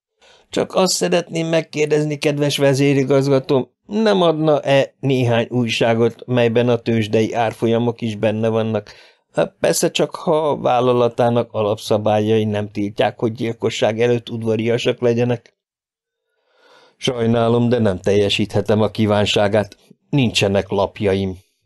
Én is szeretnék valamit kérdezni, szólalt meg hirtelen Eddi. Nem tudja véletlenül, mi történt az Augillai erődítmény tagjaival, akik magukhoz igyekeztek? A sejk arca elkomorodott. Sajnos semmi jót nem mondhatok. Szegényeket üldözőbe vette, és elfogta egy század szaharián. Néhányan ugyan kivágták magukat, és elérkeztek ide, de olyan rossz állapotban voltak, hogy nem tudva nézni szenvedéseiket, kénytelen voltam néhány golyóval megkönnyíteni az elmúlásukat. Ördög! hörögte Eddi, és mozdulatot tett, hogy rávesse magát a sejkre, de visszahőkölt a hirtelen előre szegezett revolver elől. Vigyázzon, fiatalember, másodperceken múlhat az élete. Eddi leköpte. A sejk arca bíborvörös lett, és úgy látszott, hogy rögtön elsüti a pisztolyát. De aztán nagy erővel lecsillapította magát. Halkszavára néhány beduin lépett be. Kötözzétek meg valamennyit, adta ki a parancsot Abur. Aztán motozás. A legcsekélyebb papírszelet is érdekel. Kiment. Pillanatok alatt összekötözték őket olyan szorosan, hogy a kötelek a húsukba vágtak.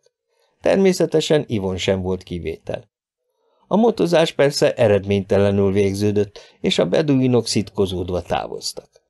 Mikor magukra maradtak, sokáig csend volt, aztán lassan, vontatottan megszólalt a pribék. Gyerekek, talán mégis oda kellene adni. Mindannyian meglepődve néztek rá. Te? Pont te? kérdezte Edi. Mindenkitől inkább hittem volna, hogy elveszíti a bátorságát, mint rólad. Tévedsz, én nem vagyok gyáva. Én csak azért... Zavart oldalpillantást vetett Tivorra. Ez a szegény lány jót akart velünk, sokat kockáztatott értünk. Az a bestia biztosan meg fogja kínozni. Hát úgy gondoltam, hogy ha ezzel megmenekülne a szenvedéstől szegényke, ö, izé, ügyetlen mozdulatot tett és elhallgatott. Eddig lassan felemelkedett fekvő helyzetéből, már amennyire kötelékei engedték, és kínos erőlködéssel közelhajolva a pribékhez megcsókolta a vén rablógyilkos borostás pofáját. Ne csináljuk ezeket a hülyeségeket, kérem, hördült föl pribék. Különben sem tudok védekezni. Nem kell kihasználni, hogy össze vagyok kötözve. Elfogadják az ajánlatomat? Igen, természetesen, hangzott minden oldalról. Szokolov sötét pillantással még külön hozzátette. Eddig sem voltunk milliómosok, mégsem haltunk éhen. Ezután sem fogunk.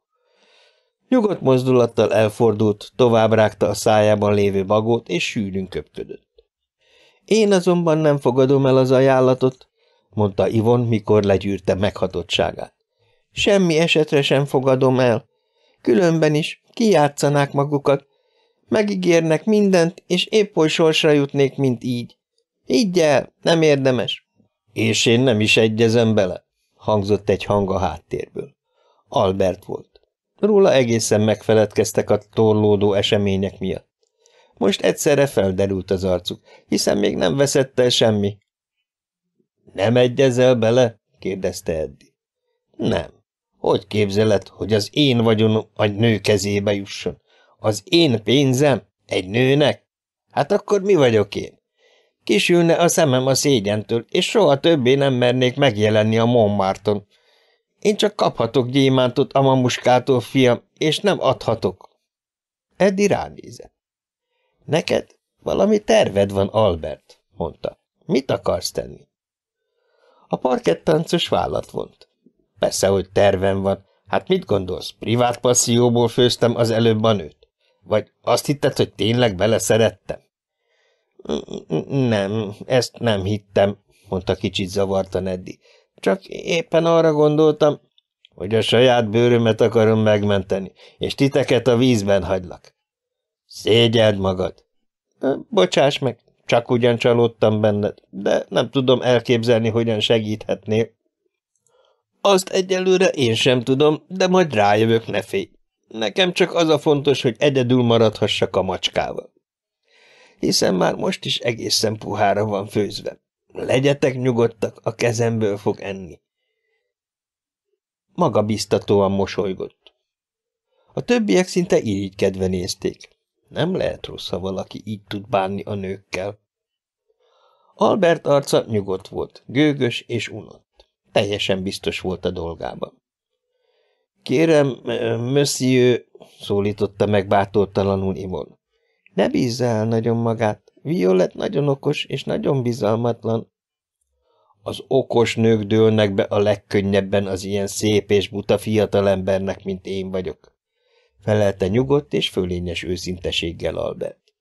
Csak bízza rá, a maga nővére nem kapja meg a gyémántjainkat, sőt, ha nagyon akarnám, még egy kis készpénzt is kaphatnék tőle. Kicsit kesernyésebben tette hozzá. Az ellenállhatatlan Albertet nem kell félteni. Majd meglátja, hogy Violet átlátott a szitán, és nem árt többet szóba magával, makacskodott Ivon. Ebben a pillanatban félrehúzódott a függöny, és egy arab lépett a sátorban. Egyenesen Alberthez ment, kiódozta a kötelékeit, és intett neki, hogy kövesse. Albert jókedvűen hunyorgott Ivonra, és elindult. A kijáratnál megállt egy pillanatra, és kicsit fanyarul mondta. Sokan mondták már rám, hogy züllött és lelkiismeretlen ember vagyok. Sok becstelenséget követtem már elnőkkel szemben. Most vezekelni akarok egy kicsit.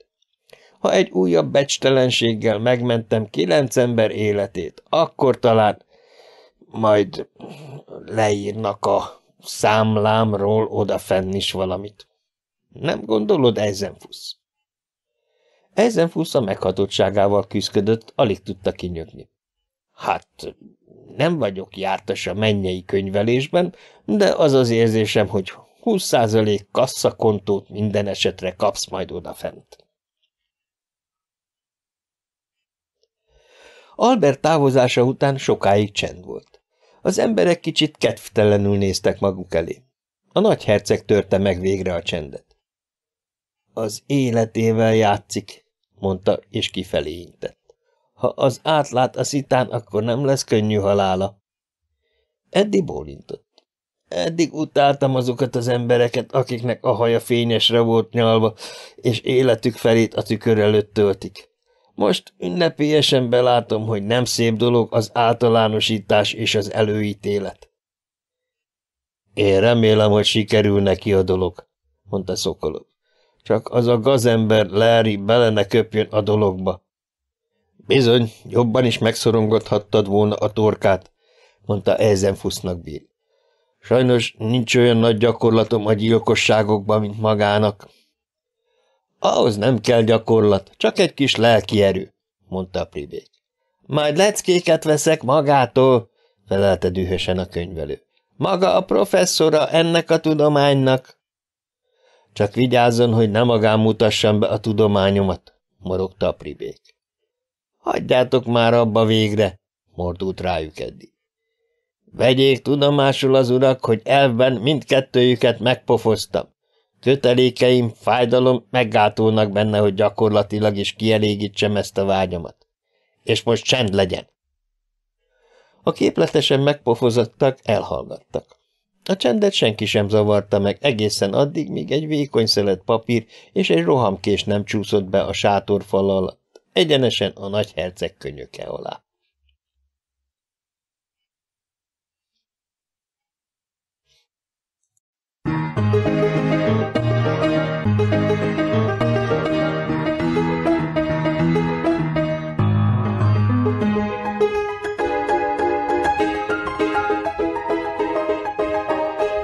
A hetedik fejezetben kiderül, A részvények árfolyama javul valamit.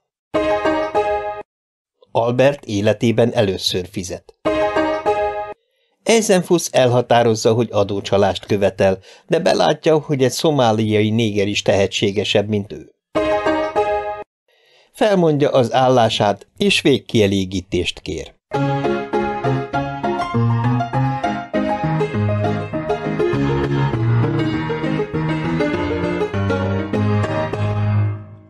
Figyelem, apuskák, csak egy percnyi időm van. Kövessétek az utasításaimat, és ne ellenkezzetek. Valamennyi őtök megmenekülése függ tőle.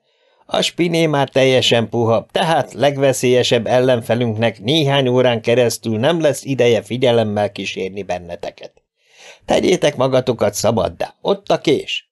Ha hátul felhasítjátok a sátor ponyváját, két percen belül a lovakhoz értek.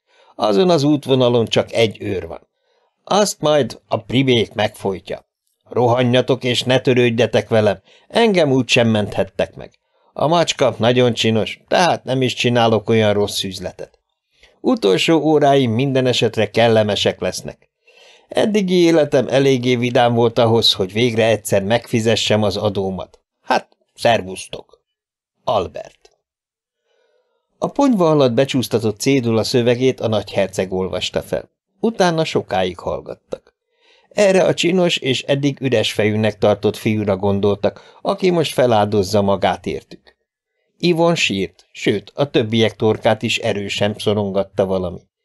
Még Fanyar Robert szemében is megcsillant egy könycsepp, pedig az említett úriember csak akkor az egyszer könnyezett, mikor egy kisebb családi nézeteltérésnél beledöfte a bicskáját a saját papájába, s utóbb nagyon megijedt, hogy megtalál halni az öreg úr, akit rendkívül szeretett.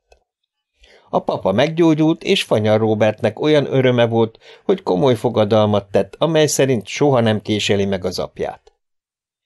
Dicséretére legyen mondva, hogy ezt az ígéretét mindeddig be is tartotta. De mondom, sírni azóta sem látta senki.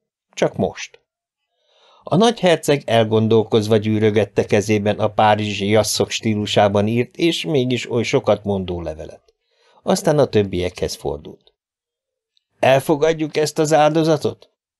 Semmi esetre, mondta Eddi habozás nélkül, és a többiek helyeslően bólintottak. Hát akkor ki kell leszelnünk valamit, mondta a nagyherceg. Kétségtelen, hogy ez a kés és a levél alapján szerzett terepismeret roppant előnyt jelent a számunkra. Az is kellemes, hogy nem kell törődnünk ennek az asszonynak az éberségével. Viszont két nehézség is van. Micsoda?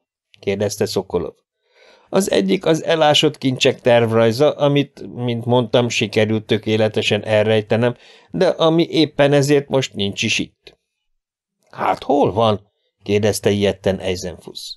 Annak a rablóvezérnek a sátrában, aki elfogott minket, hangzott a meglepő válasz. De ne ijedjetek meg, mert ő nem tud róla. Csak én. Nem értem. Nem is fontos.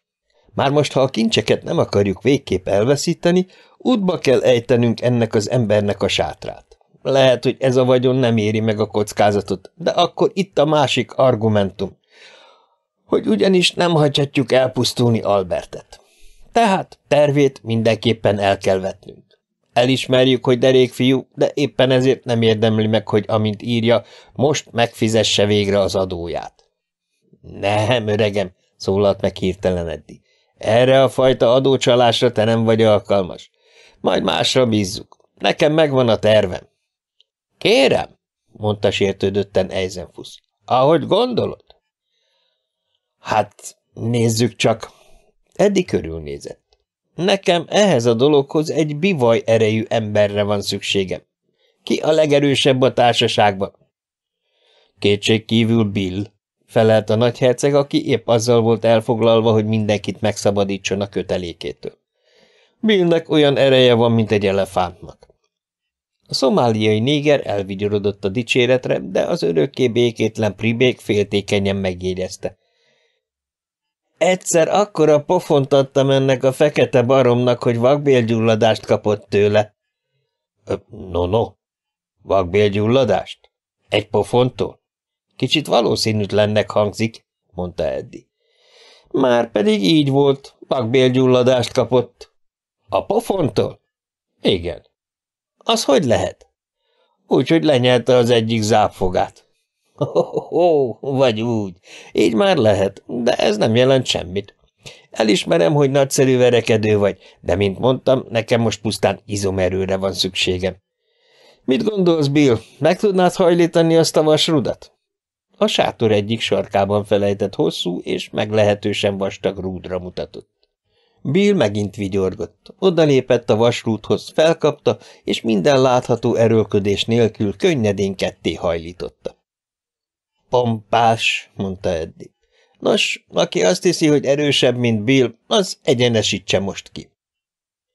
Pribék, Ragyás és Szokolov megpróbálták, de semmire sem mentek vele. Izzadva és dühösen hagyták abba. Na, Bill, egyenesítsd ki! Bill megint vigyorgott, és az előbbinél jóval nehezebb mutatványt is játszik könnyedséggel elvégezte. Bravo, mondta elégedetten Eddi. Ilyet még nem láttam. Na figyeljetek ide, nem kell azt gondolni, hogy hiába való módon vesztegettük eddig az időt ezzel a produkciónkkal. Nekem roppant fontos volt eldönteni, hogy valóban olyan ereje van-e Billnek, ami erre a tervemhez szükség van. Az adócsaláshoz? kérdezte megepésen Eisenfuss. Igen, az adócsaláshoz. Nem, mintha vitatkozni akarnék, felelt a könyvelő, de nekem van egy barátom, aki több mint öt esztendeje ül különböző adócsalásokért. Ha éppen tudni akarod, az illető mindig fel volt mentve tornából. De gyötörlek alázattal, ez egészen más dolog. Ne szóljatok folyton közben, hanem hallgassátok meg a tervemet. Előrehajolt és halkan beszélni kezdett. Sok mondani valója volt. Mire befejezte, teljesen rájuk sötétedett. Este volt. Két árny suhant ki a felhasított ponyva nyílásán keresztül a sátor háta mögé. Bill és a nagyherceg. Hangtalanul surrantak előre, és rendkívüli figyelemmel ügyeltek rá, hogy teljesen észrevétlenek maradhassanak. Bill, aki a sötétben is látott, mint a macska, egyszerre megállt és megrántotta a nagyherceg kabátját. Kinyújtott keze egy sötét pontra mutatott. – Ott az őr! – sukta. A nagyherceg intett, hogy menjen tovább. – Nem szabad sokat teketóriázni vele – mondta. – Most az életünkért küzdünk. Csináld, ahogy megbeszéltük. Még néhány lépést tettek, aztán Bill 120 kilós súlyával rávetette magát a háttal ülő beduinra. A szerencsétlen halk nyögéssel összeesett, és Bill hatalmas marka a következő pillanatban összeszorult a barna nyakon. Egészen kicsi roppanás hallatszott, és szabad volt az út. Tovább surrantak. Helyenként hasra vetették magukat, és csúsztak, mint az indiánok. Két sátrat kerestek, és a sötétség, mely egyrészt megóvta őket a felfedezéstől, másrészt hátráltatta őket céljuk elérésében.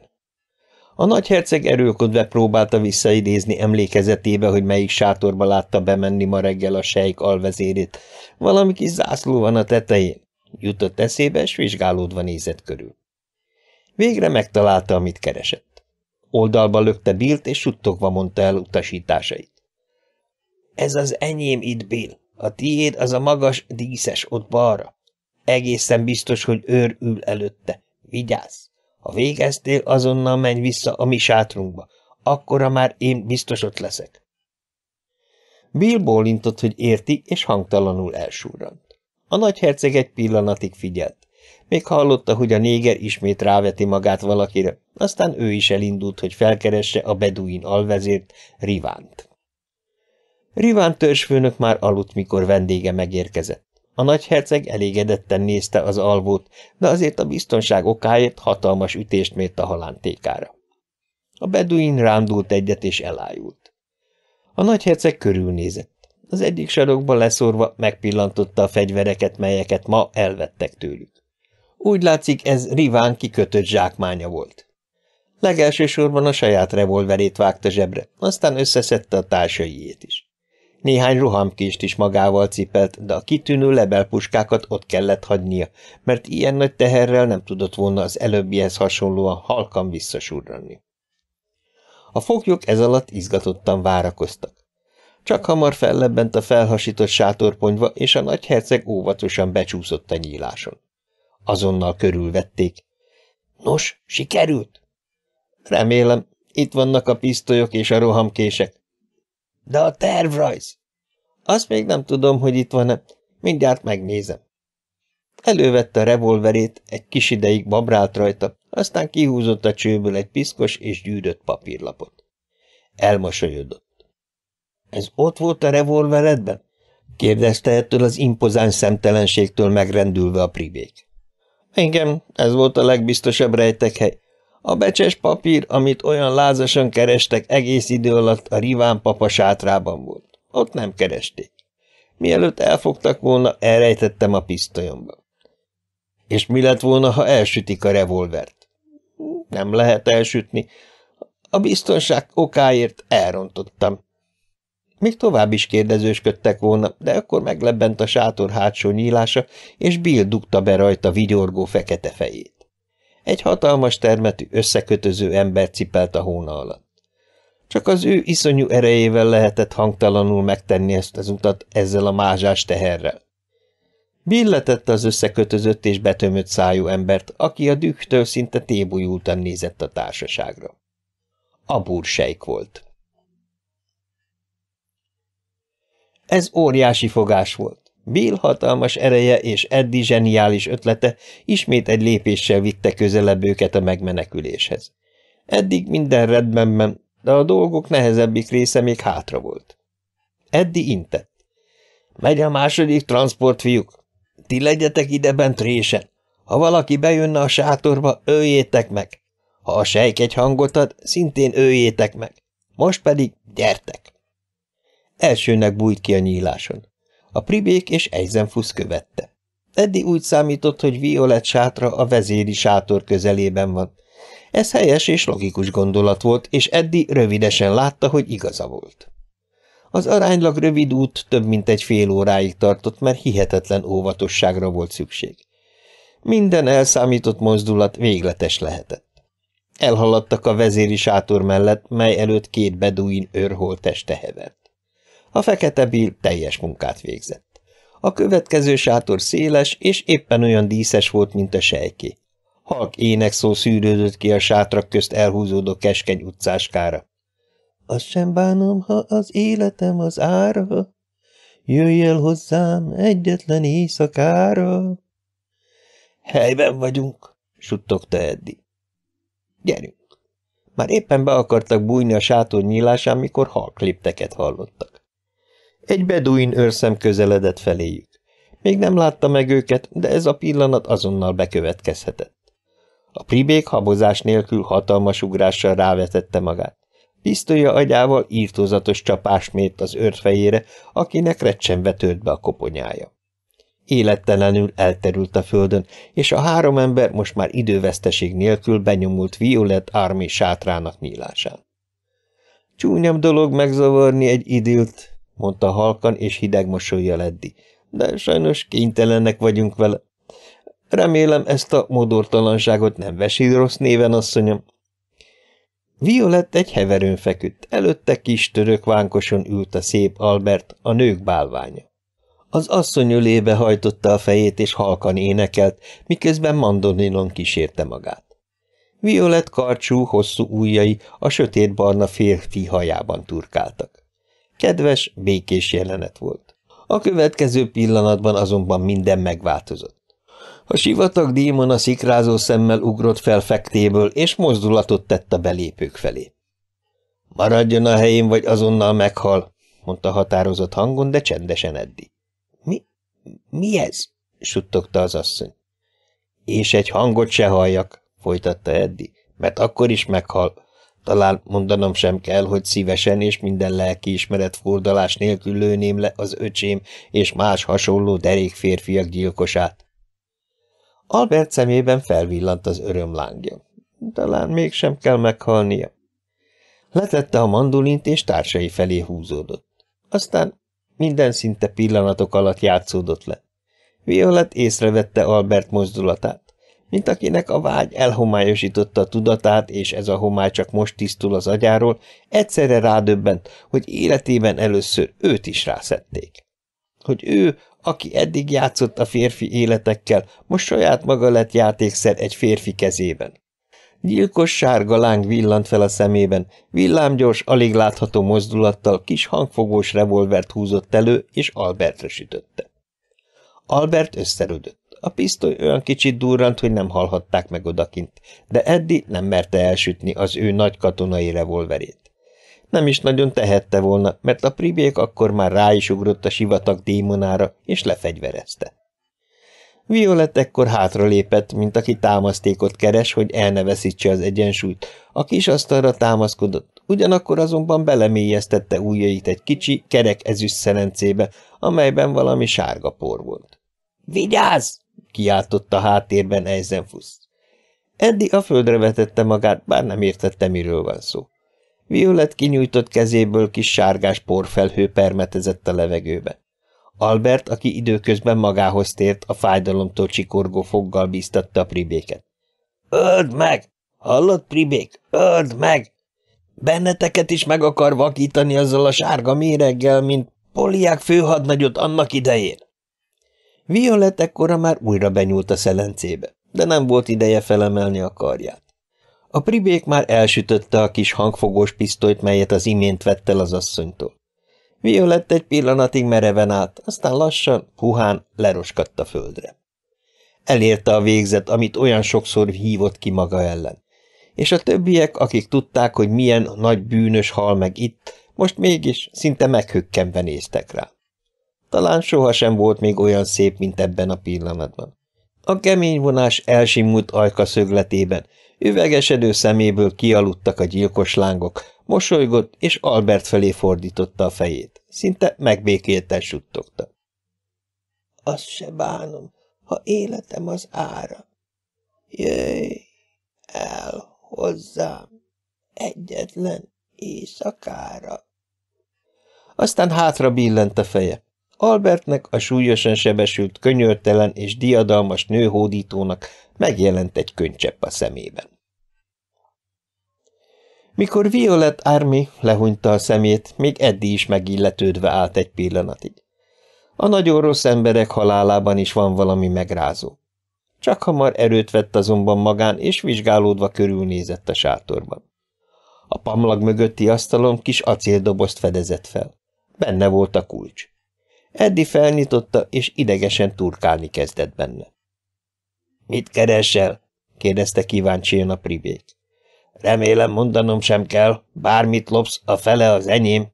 – Ennek nem, öregem – felelte Eddi, és egy hosszúkás iratot vett elő. – Ez ugyanis a halott öcsém becsülete. – Az más – felelte a pribék. – Becsületre nincs szükségem. Eddi eltette a rendkívül fontosságú katonai iratot, és Alberthez lépve feltámogatta a sebesültet.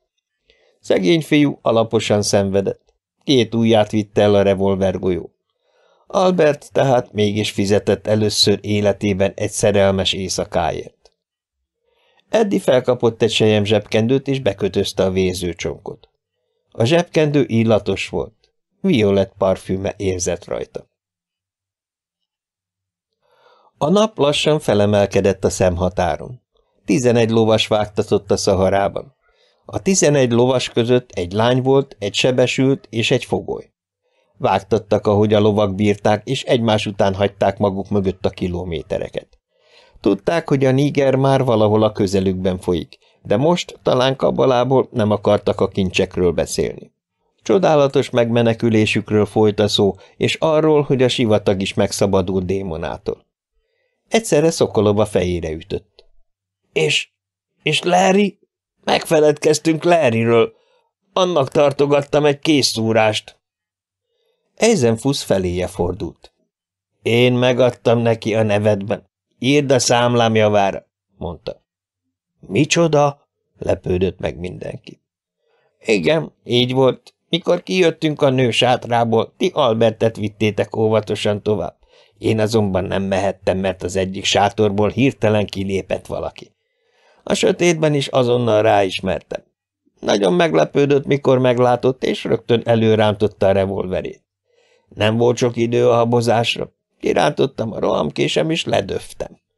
Azt hiszem, hogy a pribék büszke lett volna rám, ha látja. Szóval mindenki megkapta, ami járt neki, jegyezte meg Szokolov. Mindenki, mondta a nagyherceg, és kicsit ködös szemmel nézett a távolba. A szája is megrándult, mintha egy női nevet suttogott volna. Mikor elérték a nigert, Eddi a fogolyhoz lépett. Hatalmas sejk, mondta. Engedd meg, hogy ünnepélyesen szabadon bocsássalak. Kénytelen voltam vele, hogy elhozzalak túsznak, mert nem óhajtottam, hogy embereid üldözzenek. Nem is tették. Úgy látszik, megkapták az üzenetemet. Miféle üzenetet? kérdezte magorván a sejk. Hogy amennyiben egyetlen beduin lovast látunk, azonnal kivégzünk téged. Idd el, meg is tettük volna. Most azonban nincs szükségünk rád. Visszamehetsz, sejk. Örültem a szerencsének. Feloldozta a sejk kötelékeit, a beduin vezér villámló pillantást vetett rá, de aztán váratlanul elmosolyodott. Angol egyetemre jártam, mondta hirtelen. Mint ilyen, sokat sportoltam, és így megtanultam egy közmondást. Veszíteni is kell tudni. Kezet nyújtott Eddinek. Eddi szintén mosolygott, és hatalmasan megrázta a feléje nyújtott kezet. A sejk elvágtatott. Mentek még néhány kilométert. A níger ekkor kanyarodott egyet. A nagyherceg elővette a rejtek helyet mutató cédulát. Kicsit remegő hangon mondta. Itt vagyunk, fiúk. Öt perc múlva eldől, hogy kódosok maradunk-e, vagy milliómosok leszünk. Leugráltak a lovakról. A karijó óriásgőzös kifutott a kikötőből. Mindenki a fedélzeti korlátnál állt, csak az a különös tíztagú társaság maradt a szalomba, amelyik úgy az indulás pillanatában érkezett a hajóra. Igen különös társaság volt. Többnyire nagy darab, keménykötésű, marcona emberek, akikre valahogy nem nagyon illett a rendkívül finom és elegáns ruha. Kivétel nélkül mindegyik aranytárcából cigarettázott, és aranyórán figyelte az időt. Mondanom sem kell talán ezután, hogy a fent jelzett személyek a benír gyémántokat felkutató korlátolt felelősségű társaság tagjai voltak. Noha rettenetes utat kellett még megtenni a Nigertől eddig a hajóig, illetve Dakar kikötővárosáig, mégis rendkívül hamar megszokták, hogy gazdag emberek, és elhatározták, hogy testületileg kísérik a jegyes párt Eddit és Ivont Londonba, hogy részt vegyenek az esküvőn. Kéknek volna hozzá több joguk, mint nekik. Hogy aztán mit fognak csinálni, még nem döntötték el. Biztos, hogy még találkozni velük valahol, de addig se féltsük őket. Csalámba és gazdag emberbe nem üt a mennykő. Elégedjünk meg azzal, hogy most vidámnak és gondtalanok. Egy kivételével.